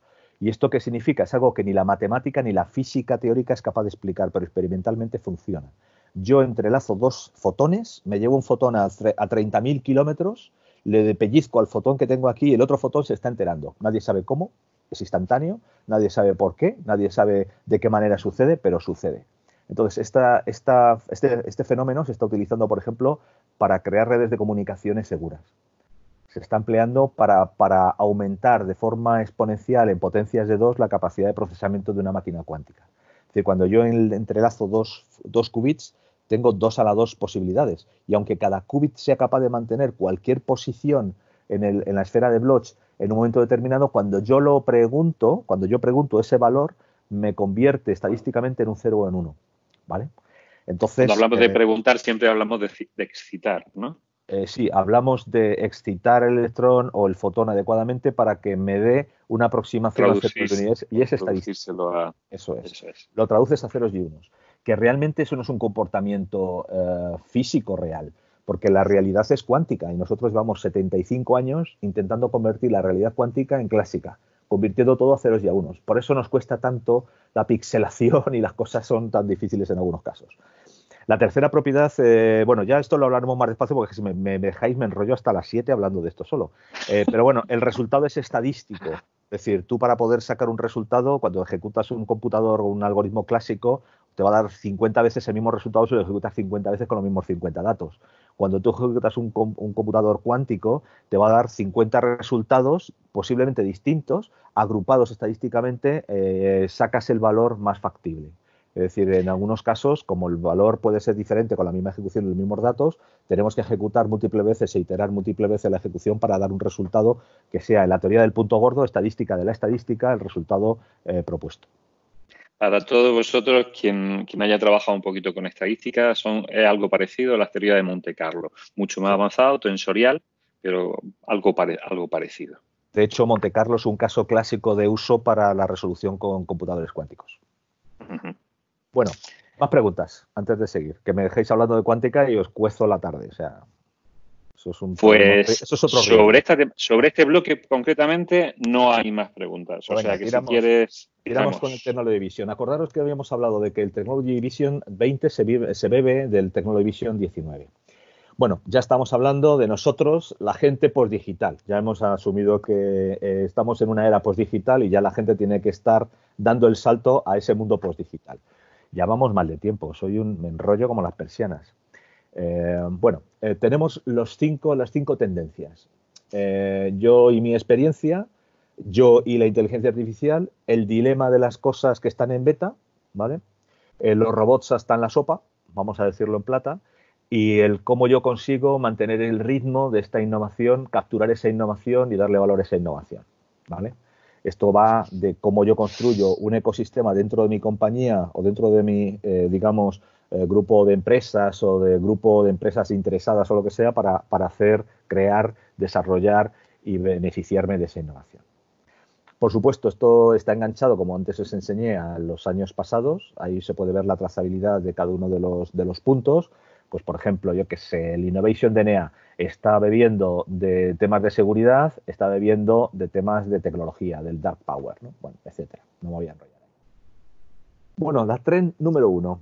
Tenemos que ayudar a la gente a elegir y a crear su propia experiencia, su propia, aquí le llaman aventura. ¿Esto de qué va? Va de que el nivel de personalización tiene que llegar a un extremo que permita al usuario elegir.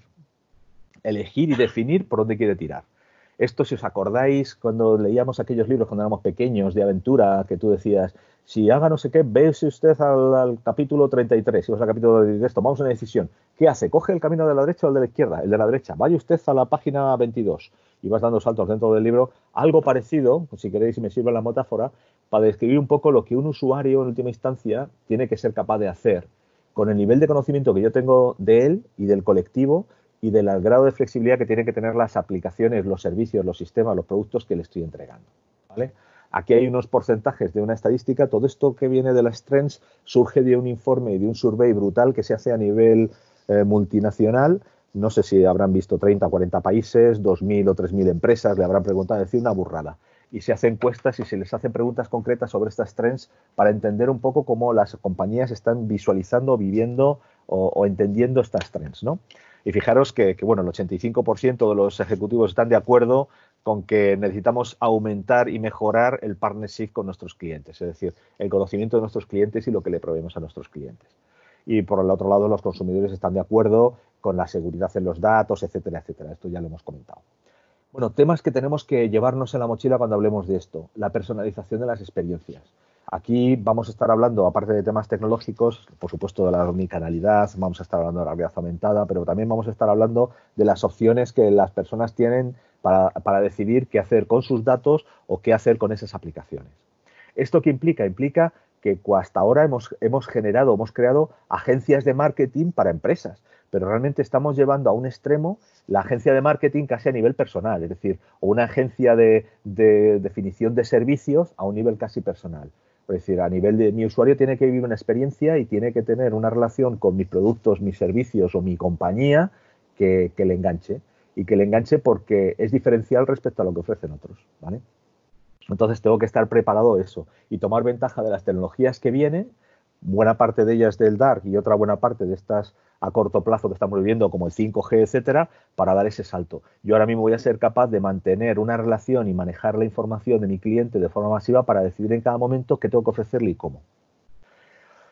Como compañía, ¿en qué tengo que pensar o qué decisiones tengo que tomar? ¿Vale? Oye, ¿hasta qué punto yo estoy preparado para dar el salto? ¿Qué método, qué metodología, qué procesos tengo que implantar?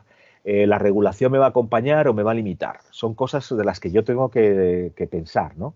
Las predicciones de, este tren número uno, pues mira, en cinco años, pues vamos a tener compañías de, media o de gaming que prácticamente van a tener interacción real time. Ya, ya incluso algunas, eh, pues por ejemplo, hay ya ejemplos de, eh, compañías de, juegos.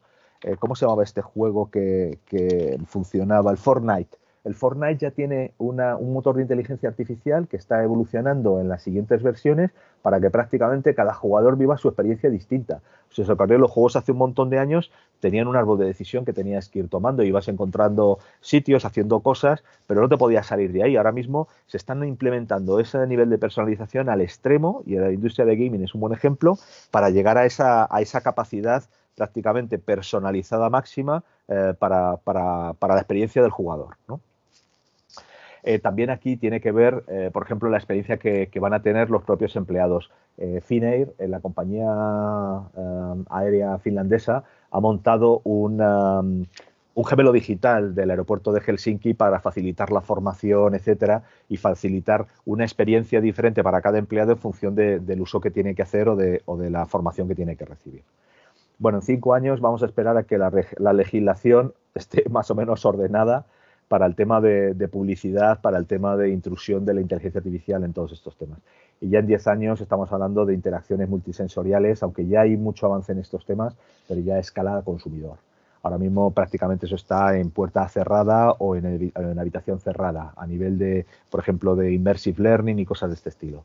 O los jugadores más avanzados y con mucho dinero que se montan un entorno súper, eh, como os diría yo, eh, inmersivo, incluyendo movimiento, incluyendo guantes con experiencia, eh, viento, temperatura, humedad, para reflejar el comportamiento o funcionar dentro del juego, ¿no? para introducirse dentro del juego.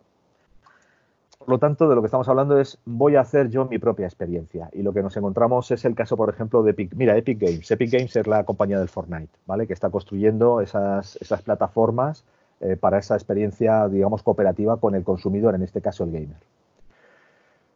Bueno, segunda, ¿queréis que hagamos parada por tendencia o vamos para adelante y luego hablamos de las cinco tendencias?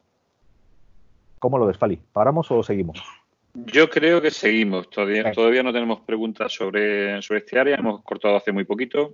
Te animo a seguir. Pues venga, vamos para adelante. La segunda. La segunda estamos hablando de que, y hemos estado hablando de las tendencias de otros años, tenemos que llegar a un nivel de colaboración, cooperación entre el humano y la inteligencia artificial muchísimo mayor. Y entonces tenemos que hablar de la ética, tenemos que hablar de cuáles son las barreras, de hasta dónde tiene que llegar el humano y hasta dónde tiene que llegar el sistema de inteligencia artificial. Ayer me parece que ponía un slide donde había un, ejemplo de cooperación con graduación. Eh, ¿Os acordáis? Dos, líneas en un gráfico de dos ejes que crecían eh, desde el punto más, eh, digamos, hacia el vértice de XY, mínima interacción humano-máquina, hasta la máxima cooperación humano-máquina, va, va en esa línea también. Bueno, todas las organizaciones saben que ya, o casi todas, están pilotando procesos de inteligencia artificial. Eh, prácticamente todas son conscientes de esta interacción entre sus eh, fuerzas de trabajo y sus motores de inteligencia artificial. Temas que hay que tener en cuenta y hay que llevarse. que estamos hablando no de automatizar, no estamos hablando de robótica de procesos, estamos hablando de un punto de colaboración, cómo yo acelero o mejoro el funcionamiento, comportamiento y percepción. También hablábamos eh, ayer y antes de ayer de la experiencia de mis empleados, cómo yo acelero y hago más, eh, más eficientes colaborando en la inteligencia artificial y los empleados sin que sea un menoscabo para los empleados, evidentemente. La inteligencia artificial todavía no se queja, ¿vale? El contexto y la inteligencia artificial de calidad eh, da valor, tiene valor. De hecho, las disciplinas ahora mismo que se están desarrollando más fuertes son, como podéis imaginar, NLP y las interfaces de la NLP, que no dejan de ser eh, interfaces tipo chatbots, inteligencia artificial o interfaces tipo XR. Todas las disciplinas ligadas a la inteligencia artificial, reconocimiento, análisis de vídeo, análisis de imagen, eh, eh, digamos reconocimiento de texto, el voice to text, text to voice, etcétera, etcétera, todo eso está en clara expansión o explosión. Claro, ¿esto qué implica? Implica que con los procesos de negocio que yo tengo y esta tecnología incipiente, tengo que real, realmente reinventar o reimaginarme, como dice aquí, eh, lo que quiero ser y lo que voy a hacer. Y esto es un trabajo introspectivo, empresa a empresa, proceso a proceso, grupo a grupo, compañía a compañía, de cómo yo voy a atacar ventaja de esta inteligencia artificial y cómo la voy a hacer consistente y coherente con mi equipo de trabajo. Aquí surgen y surgirán oficios nuevos, como el entrenador de motores de inteligencia artificial, el operador de, robots de no sé qué, oficios que no existen hoy por hoy. ¿no? Bueno, ¿qué, decisiones tengo que tomar como compañía? Bueno, eh, estoy pensando colaborativamente entre las máquinas y los hombres, tengo que pensar, repensar mis procesos. Eh, ¿Qué iniciativas tengo que lanzar cross compañía? Acordaros que también había eh, una tendencia fortísima, prácticamente un, un must en la mayoría de las compañías de reconstruir, repensar los, los, procesos de negocio, de verticales a transversales. En los momentos de la verdad, el primer día lo vimos un poco, ¿no? Y cómo voy a ser capaz de, explicar eh, por qué el robot está haciendo lo que está haciendo basado en los datos o basado en la inteligencia o en los motores de reglas asociados que le he incluido. Aquí hay un montón de casos ligados en la zona gris entre la ética, el, tema del sesgo, del que también hay muchísimas, muchísimas discusiones abiertas, el entrenamiento, el valor de los datos con lo que lo entreno, etcétera, etcétera, ¿vale? Pero hay, una, hay algo que va a empezar a ser una exigencia por los empleados, por los consumidores y por los gobiernos, que es explícame por qué has tomado esa decisión y cuál ha sido el, digamos, el racional que has seguido para tomar la decisión que está haciendo tu motor de inteligencia artificial. Aquí yo ponía muchas veces el ejemplo de, eh, vaya, tengo un coche conectado que está, eh, digamos, pilotado automáticamente y se me está cruzando en la calle un abuelito y una niña. ¿A quién atropello si no puedo frenar a tiempo? Eh, oiga, voy a atropellar al abuelito. ¿Y por qué? Bueno, porque la niña tiene más probabilidades de sobrevivir. No sé, explíquemelo. Si puedo, puedo, puedo estar de acuerdo, pero ¿por qué lo ha hecho? Porque vamos a llegar a juicio y van a poner en el, estrado al robot al robot y no sabemos si van a poner a la empresa que, hizo el robot, al programador que programó el robot, al que puso los datos para entrenar al, motor de inteligencia artificial. hay muchos temas que están ahora mismo abiertos ahí, muchos de los cuales tienen que ver con el por qué se tomó la decisión o por qué se, eh, o por qué se tiró por un camino en vez de por otro. Bueno, predicciones. Eh, esto evidentemente es la bola de cristal una vez más, ¿no? Eh, están hablando de que la mayoría de las compañías, eh, digamos de las mayores 2.000 compañías, estarán dando servicios de inteligencia artificial a sus empleados, pero ya.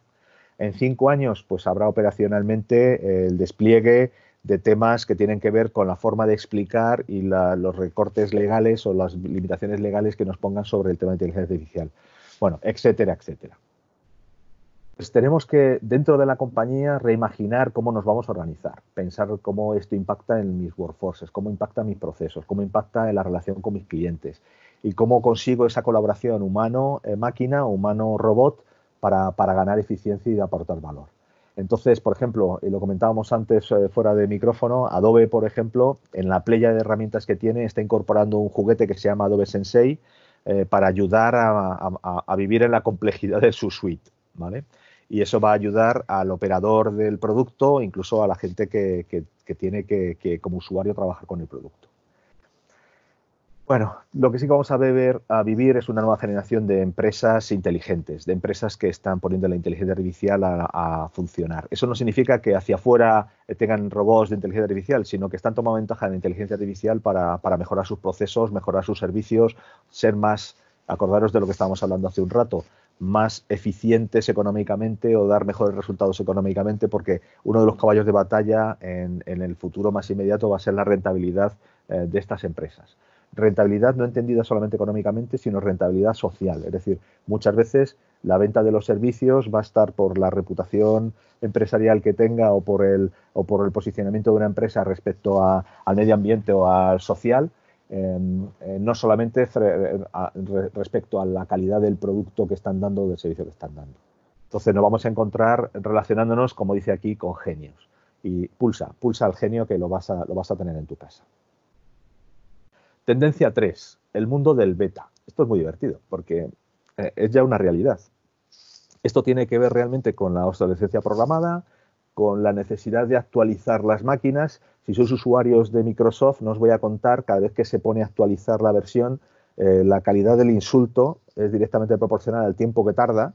Y, pero esto es un ejemplo claro de un producto que vive en beta desde hace 25 mm, años, pobres de nosotros. Y seguimos eh, pendientes de la última actualización y las actualizaciones se automatizan. Y además esta es la tendencia. Prácticamente todos los productos nuevos van a, van a tener que ser entendidos como productos eh, eh, con capacidad de upgrade, con que se pueden actualizar, que se pueden mejorar.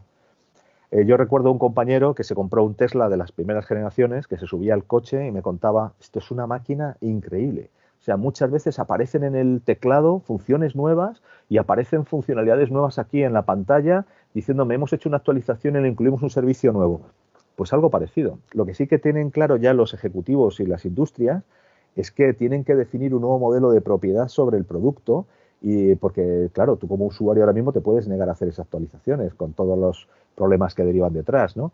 Eh, ¿De quién es la responsabilidad? Del que produce, del que denegó la entrada y también hay una discusión ético, ético digamos, legal interesante, ¿no? Pero con todos estos productos que se conectan unos con otros, eh, necesitan ser actualizados. Y esto también, cuando hablamos de arquitectura, los, eh, los, arquitectos que han trabajado, que he visto que había alguno trabajando en temas de arquitectura, son conscientes de que el mundo de los microservicios y el mundo de las APIs tienen que permitir y, ser consistentes con la actualización de los elementos que tienes en esta sopa de, en esta sopa de piezas. Es decir, una, la actualización de una API debería ser compatible con las versiones con las que se tiene que relacionar múltiples versiones de los productos o servicios anteriores, unas compatibilidades hacia abajo. Bueno, en cualquier caso, takeaways que debemos llevar. Hay que entender este entorno. Ah, los, eh, los eh, digamos, eh, los usuarios finales estamos echando pestes todos los días de esto, pero también nos podemos beneficiar. Cuando se está actualizando el Windows, lo que también me está incluyendo es la nueva batería de antivirus o de nueva batería de firewalls que van a permitir mantener la seguridad de mi equipo. Es decir, aquí hay que llegar a un deal nuevo entre el proveedor del servicio del producto y el consumidor.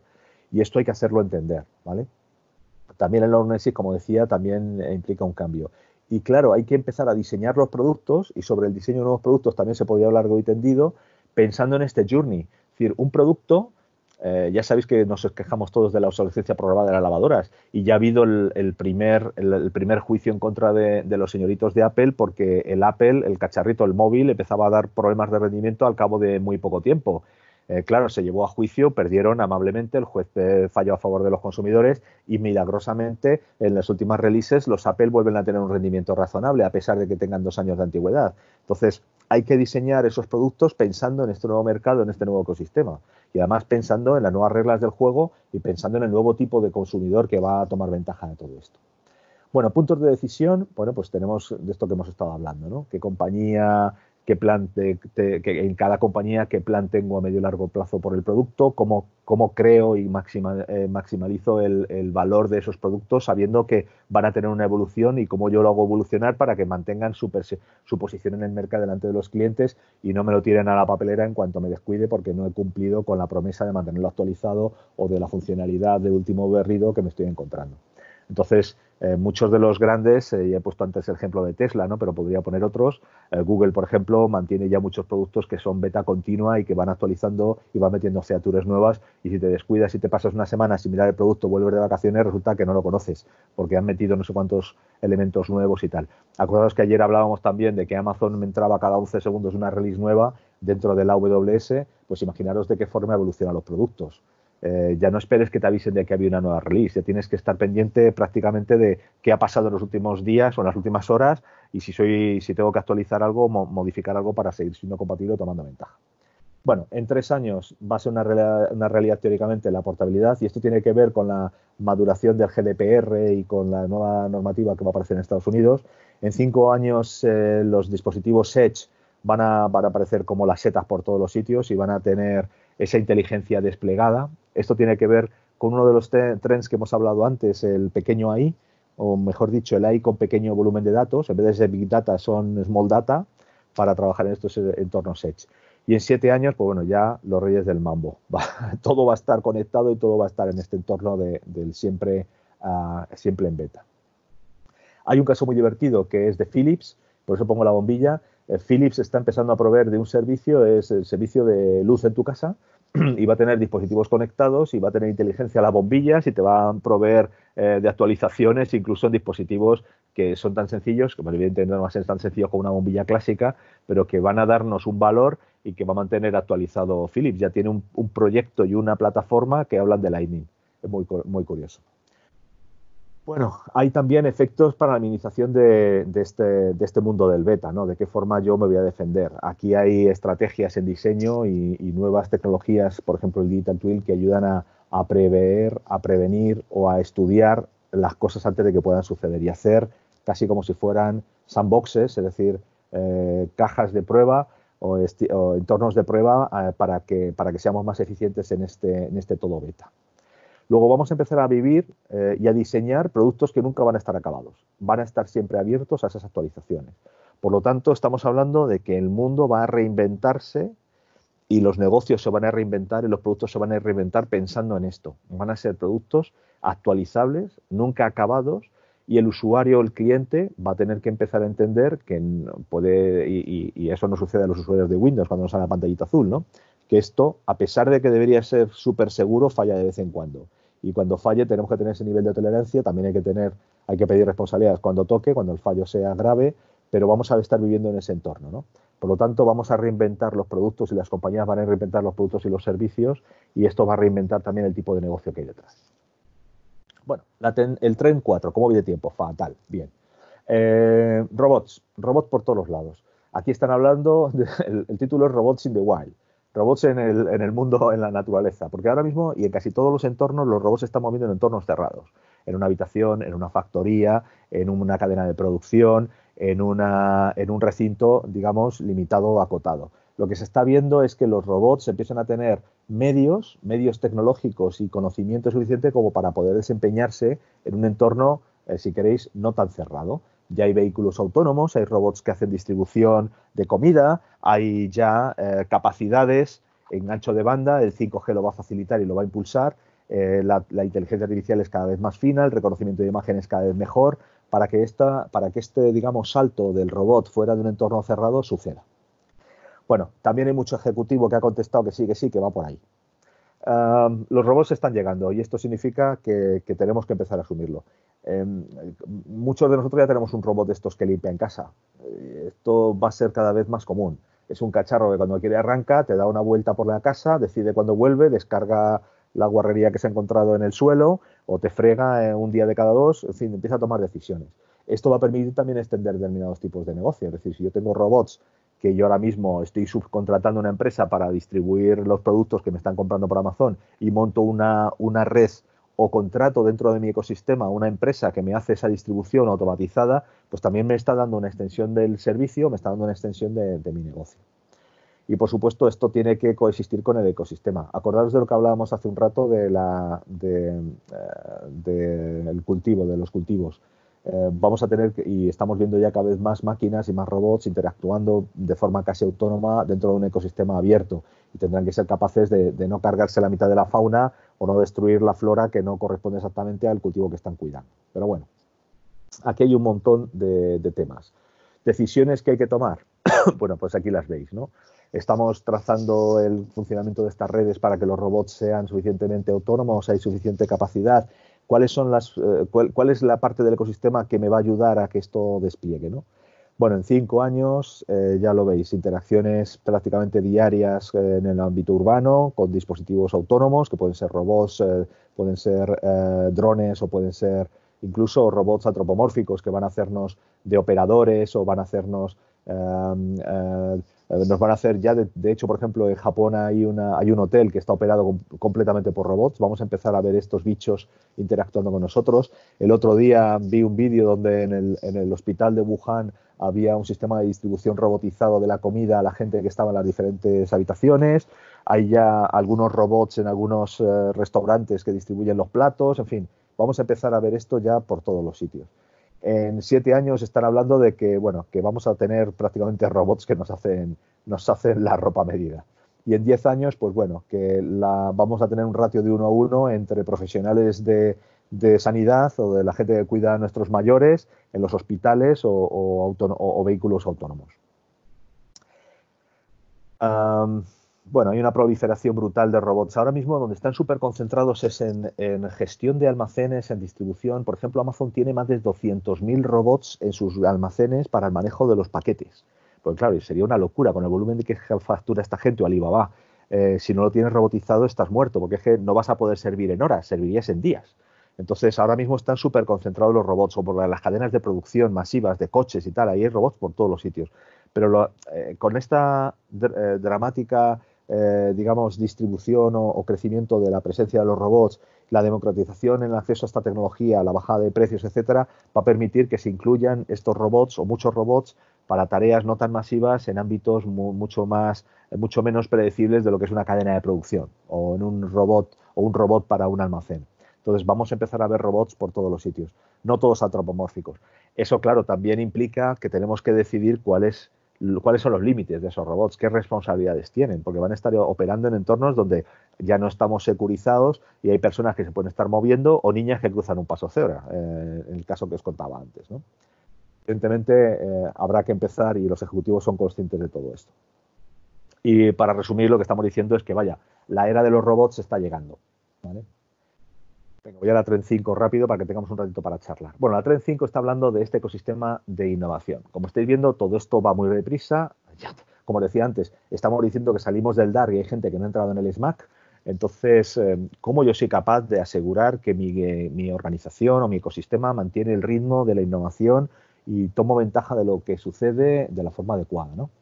Por supuesto, los ejecutivos parece que se han, ido a clase, dicen que sí, que sí, que tienen que tomar ventaja de todo eso, que tienen que mantener este ecosistema de partners y de terceros para, junto con la compañía, mantener el, pace of innovation y la velocidad de innovación.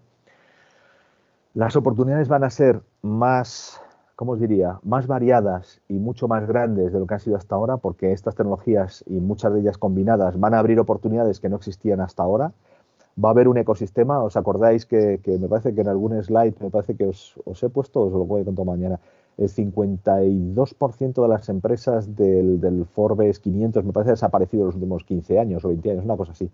Eh, va, vamos a ver extinciones en este ritmo de las compañías que no se apliquen el cuento o que no estén eh, o no se tomen en serio estas transformaciones y estas innovaciones. Con lo cual, es, un, es absolutamente mandatorio, es absolutamente obligatorio que las organizaciones eh, desarrollen internamente eh, su propio ecosistema de innovación. Entendiendo por innovación la aplicación del conocimiento para conseguir beneficio. Acordaros del primer slide de hoy, ¿vale? Y además, esa innovación no va a ser una innovación solo, como eh, hasta hace unos años. Voy a tener que hacerla en cooperación o en colaboración con mi ecosistema, con mis empleados y con mis clientes, ¿vale? Y entonces mis clientes son en muchos casos aquellos que me van a marcar un poco la dinámica y por eso necesito conocer muy bien a mis clientes, conocer muy bien lo que están dispuestos a comprarme y por qué precio lo están dispuestos a comprar, conocimiento de cliente, para que yo evolucione lo que es mis servicios o mis productos. predicciones. El 65% tendrán, eh, digamos, anunciarán, el, eh, perdón, eh, la computación cuántica empezará a tener funciona, o empezará a presentar equipos de trabajo y resultados en los próximos años en el 65% del Global 2000, del Fortune 2000. Esto quiere decir que, por ejemplo, todo lo que hemos hablado de Dark, todas las tecnologías estas emergentes ya van a ser una realidad y eh, van a estar desplegadas en escala. Y no la fácil de encontrar hoy, que es inteligencia artificial, o la de moda, que es blockchain, sino incluso la realidad aumentada y la computación cuántica.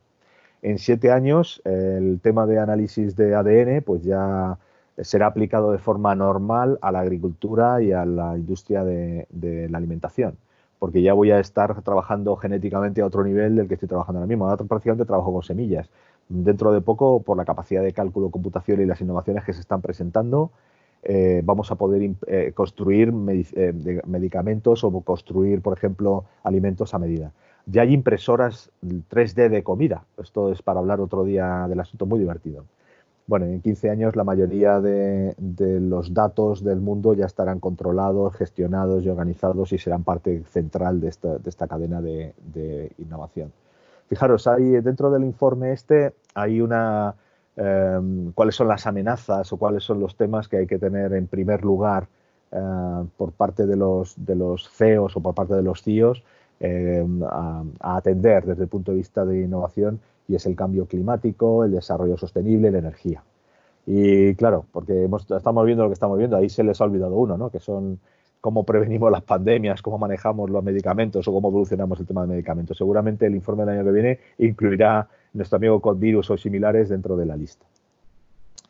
Bueno, la innovación está evolucionando y está evolucionando de forma continua y de forma continua tanto por la parte de cómo se modela, cómo se opera y qué componentes van dentro. Y esto impacta directamente en el negocio. Con lo cual, lo que estamos hablando es de que tú tienes que estar y crear y ser consciente de que la innovación cuesta, hay, hay que poner interés, hay que poner medios y, hay que, y es absolutamente clave para la continuidad de tu negocio. Entonces, es importante que intentes desarrollarla, capturarla, enfocarte hacia el valor que aporta para tu negocio y asegurarte de que tienes los medios suficientes como para mantenerte dentro del mercado. Aquellos que no hagan la apuesta por la innovación, pues se verán fuera del mercado, salvo que manejen, eh, digamos, eh, las materias primas básicas como son petróleo y oro eh, o, algo parecido, porque se encontrarán con servicios que proveen terceros que sí que se han puesto en marcha con temas de innovación o que han puesto en marcha eh, productos innovadores o servicios innovadores y les sacarán del mercado. Entonces, aquí tiene que ver mucho de los temas que hablamos de tecnologías ayer, tiene que ver eh, las nuevas arquitecturas, tiene que ver la apificación de los servicios para poder meterte en este mundo de innovación. Hay un montón de temas y dos especialmente, eh, las tecnologías emergentes y los, los hubs de innovación que también mencionamos ayer. ¿Os acordáis del edificio de Philips? que están utilizándose por las compañías o las corporaciones para incubar esa innovación dentro de las propias casas. Y acordaros que los Innovation Hubs había una combinación de externos e internos ecosistema para desarrollar estas, estos nuevos servicios, estos nuevos productos. Bueno, eh, voy a ir a toda leche con lo último para dejar un ratito para, para discusión o debate os quería comentar lo que no son tendencias puramente tecnológicas. Os voy a enseñar las Fior Trends. Fior es una compañía que compró Accenture hace ya 7-8 años que estaban eh, totalmente enfocados a algo que era complementario con Accenture. Accenture era muy tecnológica y muy de consultoría y Fior era de diseño de servicio. Fior eran los que enamoraban a los clientes porque eran capaces de convertir las ideas o, los sueños de los clientes en algo que, que digamos, aterrizaba y funcionaba. Diseñaban eh, el servicio incluso a veces el producto que encajaba con lo que el cliente estaba soñando que necesitaba para su, para su organización. Y por lo tanto es gente con una reputación altísima, no tanto en el aspecto tecnológico, pero sí en qué es lo que necesitan los clientes, qué es lo que la sociedad demanda y por eso os digo que es como la otra cara de la moneda del aspecto tecnológico que hemos visto hasta ahora. Bueno, eh, muy rápidamente las del año 19 están hablando de que, oye, estamos interviniendo demasiado en nuestros clientes, estamos interrumpiéndoles demasiado, hay que empezar a darle valor al silencio o a oportuno, eh, digamos, a darle valor a la acción oportuna contra el cliente, a interrumpir al cliente de forma oportuna en el momento adecuado, no continuamente con marketing, con mensajes, etcétera, etcétera.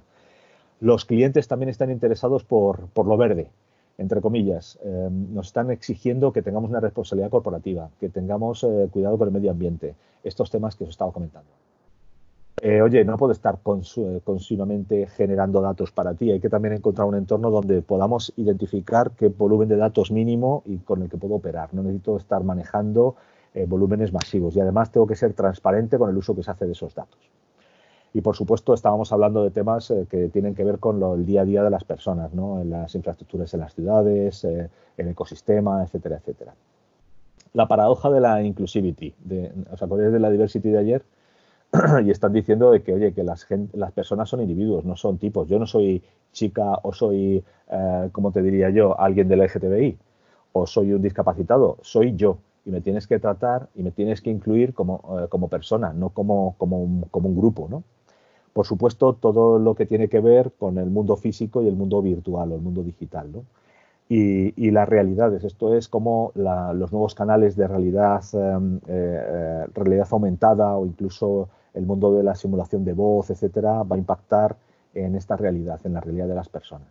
En el año 20, y ya también muy rápido, lo que está diciendo las Fior Trends es que eh, hay muchas formas de crecimiento, en la forma de crecimiento económica o en el valor que da la acción, pero también en lo que es mi, responsabilidad corporativa, en lo que es eh, lo que yo le doy a mis empleados, en lo que yo estoy haciendo por la sociedad en términos generales, en la sostenibilidad del ecosistema o la sostenibilidad de la sociedad. Hay otras formas de crecer, no solamente por el producto, y esto tiene que ver con la reputación. Y ya el ejemplo de, empresas tipo Apple o tipo Tesla son evidentes, la inversión que hacen en, en ganar eh, digamos, posicionamiento de cara a, esto, responsabilidad corporativa, etc.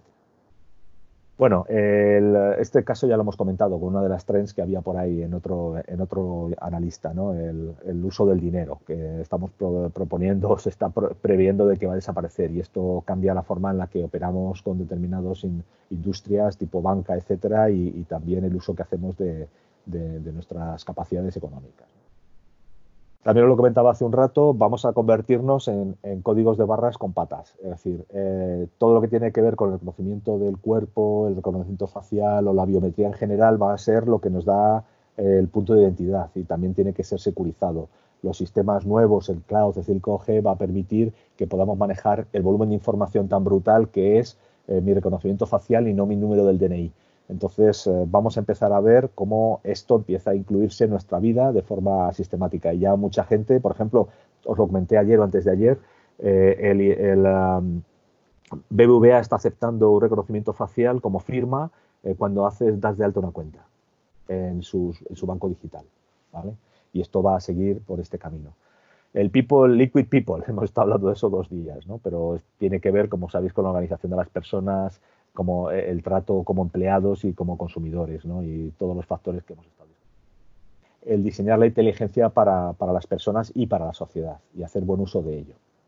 ¿vale? los gemelos digitales, pero al extremo, hasta llegar casi al extremo de tener sustitutos, sustitutos que vayan, que yo programe o yo maneje para que me representen en determinados entornos digitales, virtuales, y que puedan hacer y tener cuidado de mis datos o puedan tener cuidado de mi identidad, etcétera, etcétera. ¿no? Y luego, por último, el diseño centrado en la vida, no centrado solamente en las personas, sino también en la sociedad, etc. Bueno, he ido a toda velocidad para dejar un espacio, un ratito, para, para, preguntas y comentarios. Así que hasta aquí llega más o menos lo que quería contaros, eh, así a toda, a toda leche y disculparme por ello, sobre las tendencias no tecnológicas, que también son muy interesantes y es la otra cara de la moneda de las tendencias tecnológicas. Realmente es interesante ver si, queréis, el aspecto más humano y el aspecto más tecnológico para entender un poco eh, cuáles son múltiples o dos visiones de, lo que es la misma realidad. Eh, preguntas hasta aquí. Pues tenemos bastantes preguntas y muy interesantes, la verdad. Pues eh, ah, vamos a ello.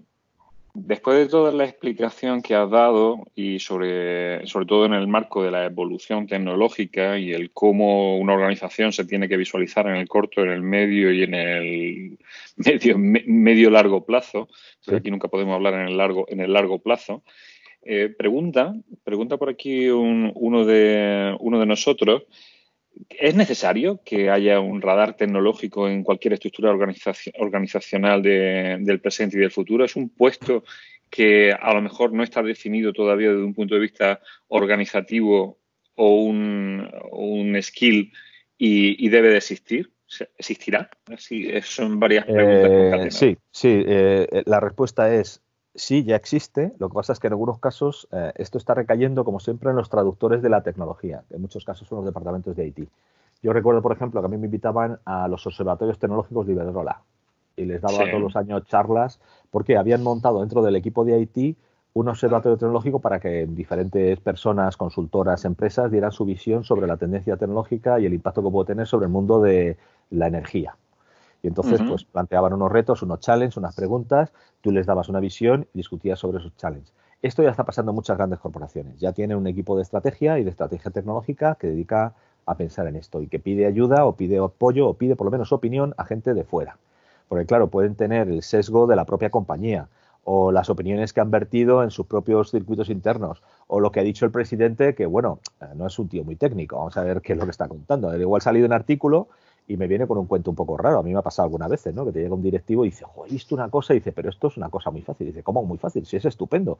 Digo, pero eso, está, eso lo hacíamos ya hace 20 años. Eh, no me digas.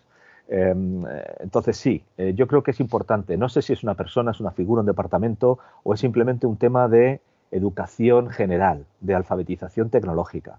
Pero lo que sí que, como estáis viendo y estuve contando también ayer, hay una vuelta hacia la alfabetización tecnológica y al valor de la tecnología como parte del, eh, digamos, del catalizador de estas transformaciones y por lo tanto es muy difícil hablar de transformación tecnológica si no entiendes un poco las tecnologías de las que puedes tomar ventaja para. Y por lo tanto, también será difícil estar preparado para el futuro, decidir correctamente por dónde tienes que tirar, si no tienes las luces largas puestas y no entiendes un poco qué es lo que está pasando o lo que va a pasar a corto. Entonces, el concepto de observatorio tecnológico, de estrategas o, de, estrategas, eh, digamos, tecnológicos, yo creo que no sé si en, todas las corporaciones o en todas las compañías es un rol o es un responsable, pero sí que es una función que se monta, y ya os digo, muchas veces alrededor de departamentos de estrategia por un lado y de IT por otros. Estrategia, porque tienen claro para dónde la empresa teóricamente, según sus servicios y sus clientes, debe ir, y de tecnología, porque hacen de traductores simultáneos de lo que están inventándose o lo que se está contando, cómo se puede aplantillar a la realidad de las compañías. Mañana habrá alguien que pueda compaginar los dos roles. Hoy todavía es difícil dar por ellos. Eh, si eh, conectamos esta pregunta con otra, eh, hablamos, sea, hemos hablado de la era postdigital, ¿no? Sí. Y, por aquí he recibido algún comentario. ¿No tienes tú un punto perverso, ¿no? Hablar de la época postdigital cuando, cuando tenemos una población que es altamente analfabeta funcional en el ámbito digital. Eh, y bueno, eso es, un comentario, pero lo voy a conectar con, dos preguntas que también están eh, agrupadas en la misma temática. ¿Qué brechas sociales puede abrir el sobredesarrollo digital? Vale. Eh, muy interesante, muchas gracias. La primera, sí, es totalmente perverso. Y totalmente perverso porque, como os decía, hay gente que todavía, o compañías que no han entrado en el SMAC y ya estamos saliendo otros del Dark. Pero claro, eh, cuando estamos hablando de tendencias tecnológicas hablamos de las luces largas. Acordaros que el primer informe, por ejemplo, de Accenture que hablaba de todo es digital estaba en el 2013, hace siete años. Desde el punto de vista de innovación y de tendencias, hace siete años ya todo era digital. Pero ahora mismo ya estamos hablando, con las luces largas, insisto, de lo que es digital. Eh, ¿Qué significa esto? Esto eh, sí que es perverso por un lado, pero también sirve de, para sacudir, para hacer un shake a las conciencias y a, las compañías. Es decir, oye, eh, compañero, que no has entrado en digital y ya estamos saliendo los que estamos pensando en el futuro. Entonces, eh, como os decía, eh, ya lo digital no es un valor diferencial y de hecho ya es una realidad así. Todo el mundo está digitalizado o está en proceso de digitalizarse. Lo digital. voy, a ser, voy, a ser, perverso. Voy a ser perverso. hablamos de multi-speed. Ayer hablamos de multi-speed y hablamos de la realidad de las organizaciones digitales y la transformación digital en un entorno multi-speed. ¿Cómo casan ambas Con cosas? Esto. No, lo que casa, estamos hablando, ayer estamos hablando de realidades del today y del muy corto eh, futuro. Y lo que estamos hablando aquí es del medio largo plazo. Entonces, eh, para mí son completamente compatibles. Por eso organizamos esta sesión de esta forma. Os voy a contar lo que es transformación digital y lo que está sucediendo y debería haber sucedido y tiene que suceder a corto. Y hoy os estoy hablando de para dónde van los tiros en los próximos años. Y fijaros que estamos hablando en algún caso de 3, 5, 10 años, pero que ya te está marcando cuál es el camino con lo que sabemos hoy. Mañana revisaremos otra vez las tendencias y veremos para dónde o cómo hemos corregido o cómo hemos alterado ese camino.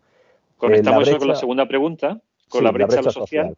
Bueno, la brecha social que se está abriendo es brutal. Ahora tiene que haber una vuelta a las bases de la educación porque nos vamos a encontrar, sobre todo con temas de automatización, de inteligencia artificial, de las nuevas tecnologías, muchos oficios que van a desaparecer o se van a convertir en automáticos. Entonces, eh, esto volvemos otra vez a la organización que tiene que mutar o que tiene que, gestionar el cambio.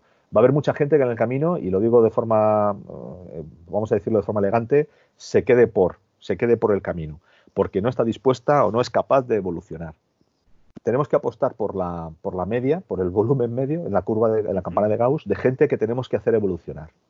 Y habrá otros muchos que vayan en la parte de la campana de Gauss bonita, la buena, que sean los que ayuden a catalizar la transformación. Pero tenemos que invertir en reeducar, tenemos que invertir en, en recrear y repensar los procesos y decidir qué perfiles son los que tenemos que construir. Acordaros que también os decía que, que el 60 y 62% de los oficios que van a ejecutar nuestros hijos probablemente todavía no están inventados. Entonces, todo esto es un ongoing y lo vamos a ver sobre la marcha. Pero lo que ya está muy claro es que tenemos una brecha y un gap de alfabetización digital o alfabetización técnica brutal. Y por eso el llamamiento este dramático de, por favor, estudiad con eh, carreras STEM, por favor, que entren más chicas a estudiar carreras STEM. Por favor, eh, si podéis engañar a alguien para que se haga ingeniero, hacedlo. En fin, eh, tenemos una brecha brutal. Hay cientos de miles de posiciones abiertas de ingenieros que van a ir creciendo de forma rápida, probablemente no exponencial, pero sí aritmética, y un volumen brutal de gente de otras, eh, digamos, con otras formaciones que seguirán existiendo, pero a una escala completamente distinta. Y yo muchas veces lo digo, yo necesito filósofos y filólogos para montar sistemas de NLP. pero necesito un filósofo y un filólogo y 35 ingenieros. Y esa proporción no existe y esa proporción desgraciadamente no existe en el mercado, ni existe conciencia de que sea necesaria esa proporción. Eh, Ulises, si me permite una cuestión más adicional, eh, porque también está dentro de las preguntas que han formulado.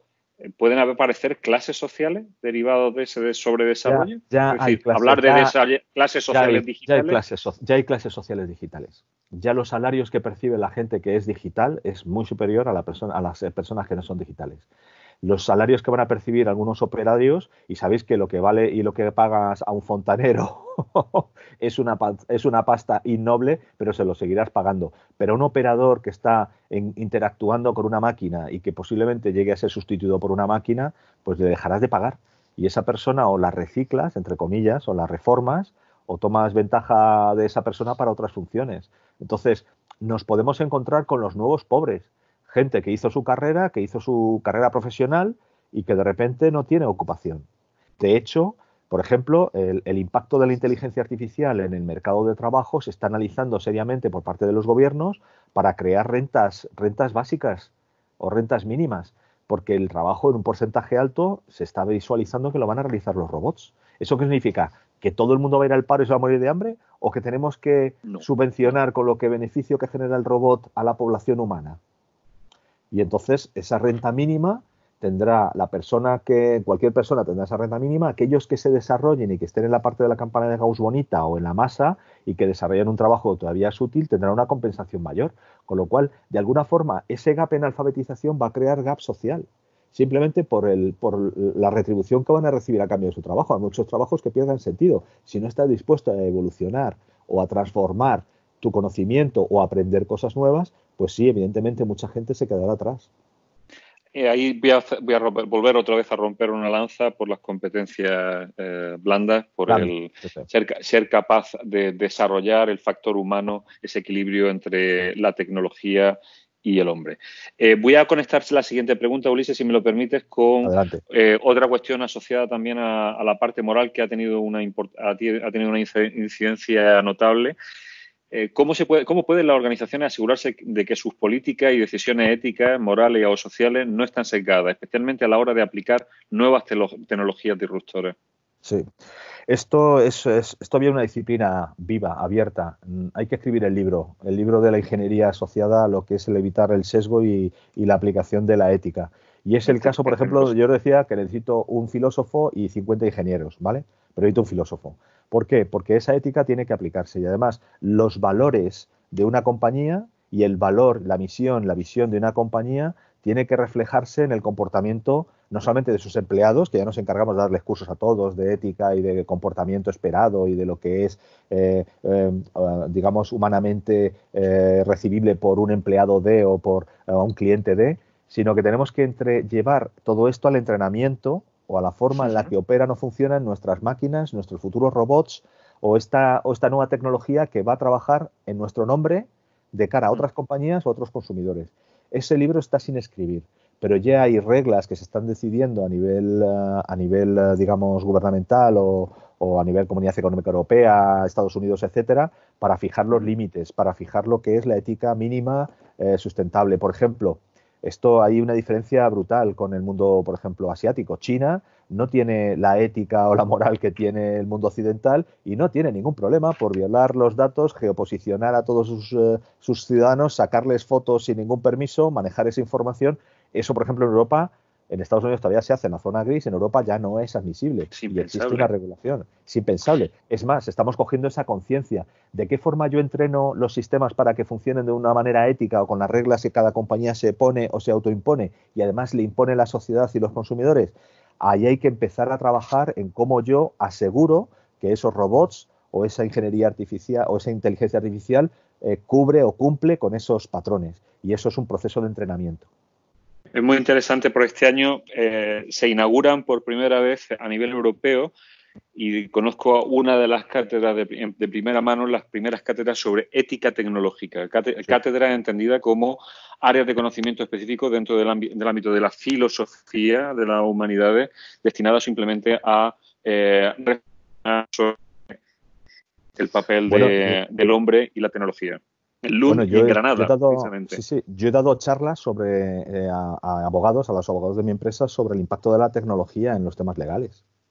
Les ponía ejemplos, decía, oye, mira, yo hemos montado ahora mismo un chatbox, un chatbox que está recomendando eh, un vuelo a, una, un, consumidor. Y ese chatbox lo hemos programado nosotros, pero era para una compañía aérea.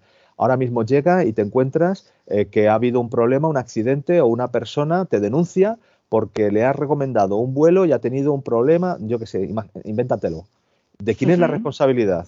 Y de cómo, de, digamos, cómo, y eh, qué medidas hay que tomar o qué reglas hay que aplicar para hacer prevención de esas situaciones o qué tipo de, digamos, de condiciones tengo que incluir dentro de lo que son el contrato hacia mi cliente, el contrato hacia, claro, entonces, fijaros que esto abre un abanico finito no numerable de situaciones en las que tenemos que empezar a pensar donde la tecnología empieza a estar mezclada con las personas. Antes, oye, tener un móvil se te ha caído, se te quema, oye, pues le denuncio a Apple porque se me ha quemado la batería y me ha quemado la oreja. Ya, claro, pero si estamos hablando de temas mucho más abstractos, donde ha habido un recomendador que te ha dicho que veas no sé qué y tu hijo se ha vuelto loco porque ha visto una película que no era apropiada, y denuncias al recomendador, renuncias al programador del recomendador, al que proveyó, proveyó los datos para entrenar al recomendador, me explico, se abre un ámbito muy, muy, muy abstracto, muy complejo y por definir de temas que hay que discutir. Muy interesante, interesante. Hay también una nota en relación a, a Fior eh, y me parece muy interesante la, la reflexión y es el hecho de que empiece a haber una ética sobre la difusión de información. Esta capacidad de que tenemos para generar información nos está llevando a una reflexión que por lo menos yo sí estoy empezando a sentir en los entornos tecnológicos o de alto nivel tecnológico y también en la ciudadanía de que no son capaces de gestionar la información. De hecho, eh, el año pasado tuve el gusto de conocer a Álvaro Pascual Leones, uno de los padres de la eh, monitorización y de la ocultación cognitiva eh, que relaciona la salud cerebral. De hecho, está, está proponiendo un nuevo modelo de tercera generación de salud basado en la monitorización del cerebro. Ya han conseguido tener de experimentos, por ejemplo, de eh, telequinesis, lo que nosotros hemos llamado de estimulación cerebral no presencial. Cuando hablabas antes de la estimulación de fotones, era genial porque hablamos precisamente el año pasado sobre esto. Y decía que ya tenemos medido de una manera muy, muy precisa la capacidad cognitiva, es decir, la capacidad que tenemos de relacionarnos con nuestro entorno a través de nuestros sensores físicos. Y no llega a los 15 bytes, es una cosa muy chiquitita. El inconsciente, nuestro cerebro pequeño, es capaz de, gestionar unos 5 megabytes. Y en el entorno tenemos aproximadamente un petabyte por hora de, información sensorial. Es decir, el hecho de que ya estemos cuestionándonos qué cantidad de información eh, me parece interesante y eso lo pone de manifiesto también alguno de, los, de las personas que, participan en el, Absolutamente. A mí me hace mucha gracia porque hace, yo creo que somos 7, 8 años, compré ya un dispositivo de estos que se ponía en la cabeza para medir las ondas sensoriales. Sí, un nosotros lo llamamos el Void eh, y lo montábamos en la cabeza y además funcionaba mejor en, la cabeza de un calvo porque que la cabeza de gente con pelo, muy divertido. Pero hacíamos movimientos y entrenábamos el, sistema para, por, ejemplo, para pasar slide. Si me permites, para que lo vea, lo que lo entienda eh, el personal. le voy a permitir. Le, voy a dar le, va, le da a permitir. es esto. Esto de aquí es ese dispositivo que te permite controlar de un modo remoto. Es una diadema. Sí una diadema que se coloca, bueno, hay que quitar los cascos, pero se coloca y con esto haces control. Y, Monitoriza ondas cerebrales y eres capaz de generar control en IoT. Porque es que además esas ondas cerebrales son pulsos eléctricos y lo que estás haciendo es entrenar a los, con tu cabeza y tu pensamiento esos pulsos eléctricos, estás capturándolo. Para mí, la diadema que tú tenías era una especie de casco casco hueco lleno de sensores y por eso digo que funcionaba mejor en la cabeza de un calvo. Claro. por todos los lados. campo. Claro. Bueno, em, tenemos una última, una última eh, pregunta, algún comentario más, pero si te parece bien, acabamos con esta. Dice, eh, el uso de datos que se hace en China, por ejemplo, podría derivar en una restricción de derechos. ¿Sería necesario fijar normas al respecto? sí, en Europa se llama GDPR.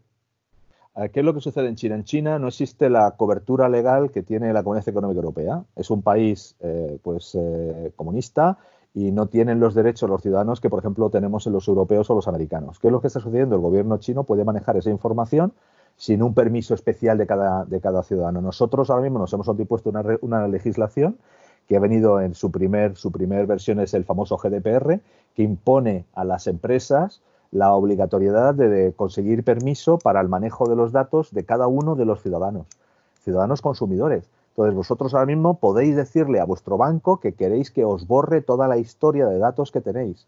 Y los bancos y bueno, las grandes corporaciones están cambiando la forma de su arquitectura y su estructura y su arquitectura de datos para que puedan hacer un borrado de la información hasta en históricos si tú como, como, ciudadano o como, digamos, cliente lo pides o lo exiges. De hecho, todas estas reglas que sufrimos y, los, cuando llamas a un call center y te meten un rollo sobre los datos, tiene usted derecho a borrar, no sé qué, no sé cuántos, tienen eh, una derivación directa y vienen directamente de estas, de estas reglas. Entonces, el manejo de datos sin el permiso del ciudadano, pues claro, puede derivar en un abuso o en un uso no deseado por parte del ciudadano de esa información. Esto se está regulando y, por, he puesto el ejemplo de China como un extremo, que es, público patente y además lo hacen sin ningún pudor, el explicar que están capturando las imágenes, que tienen millones de cámaras distribuidas por el país y pueden trazar qué es lo que está haciendo cada ciudadano en cada momento. Es el gran hermano.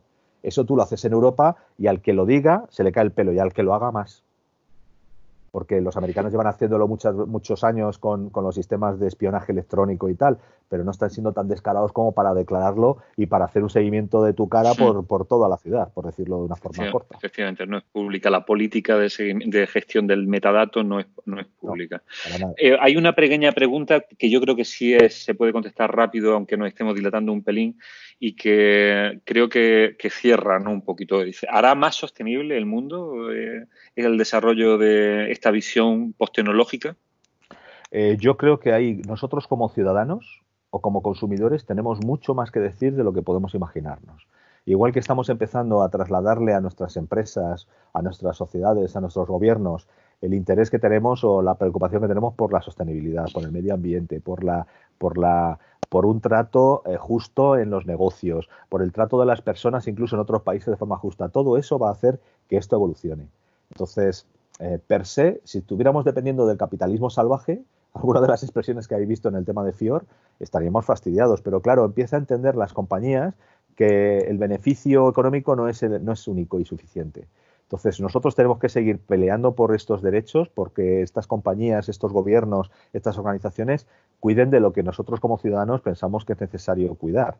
Y no solamente es de nosotros o de nuestros derechos, sino también del medio ambiente, del ecosistema, etcétera, etcétera. O sea que nosotros tenemos bastante que decir. Y creo que todos estos cambios tecnológicos eh, van a ayudar en muchos casos a mejorar eh, la percepción, el entendimiento y el uso de, lo que es, por ejemplo, el planeta o los recursos disponibles. Y esto es casi más una, una, petición y casi más una esperanza que una, que una certeza. Pero bueno, tenemos que seguir en la lucha. Es un gran mensaje de cierre de, sesión. Ulises, ¿te, parece bien si, si nos da esas pinceladas de cierre final? Sí, perfecto. Lo único, como, como antes decía, durante los dos días pasados hemos estado viendo un poco lo que es la realidad, el presente, algo de pasado y el futuro más inmediato. Hoy hemos levantado las, hemos puesto las luces largas y hemos mirado a, a medio largo plazo no toméis todo esto como, como, como, si fuera la Biblia o como si fuera el libro de Petete, porque el año que viene tendremos muchas de estas tendencias tecnológicas reformuladas o, digamos, matizadas. Lo importante es aquí entender cuáles son las tendencias eh, con, la visión de más de un año. No podemos fijarnos en una foto fija. Aquí esto es, esto es una película. Y por eso se ha puesto el año 13, el 14, el 15, el 16, el 17, el 18, el 19 y hemos hecho hincapié en algunos highlights, en unos highlights, en unos eh, titulares de cada uno de estos años. Porque esto tiene, es una historia. Esto es una película, no son fotografías. Es, es una continua. Tenemos que seguir pensando y mirando por dónde van las tendencias, qué es lo que se está entendiendo que va a suceder para, para ganar entendimiento y ganar inteligencia sobre lo que va a suceder en los próximos años y aprender de todo eso y aprovechar todo eso para tomar decisiones inteligentes y argumentadas para nuestros negocios, para nuestros procesos, para nuestros clientes o para nuestra vida. Eh, mañana haremos un flash sobre algunas tecnologías, porque hoy hemos hablado de muchas de esas tecnologías en una perspectiva así medio-largo plazo. Mañana haremos un flash del estado del arte de algunas tecnologías y os invito a que sigáis con nosotros mañana también. pues eh, quedamos todos emplazados para el día de mañana. Si os parece bien, eh, os ruego que rellenéis el formulario que nos permitirá también tener feedback sobre la sesión y seguir realizando mejoras. Nos vemos mañana, volveremos a colocar el link de la sala en un rato y la abriremos media hora. Un abrazo a todos y muchísimas gracias por vuestra asistencia. Gracias, un saludo a todos. Hasta mañana.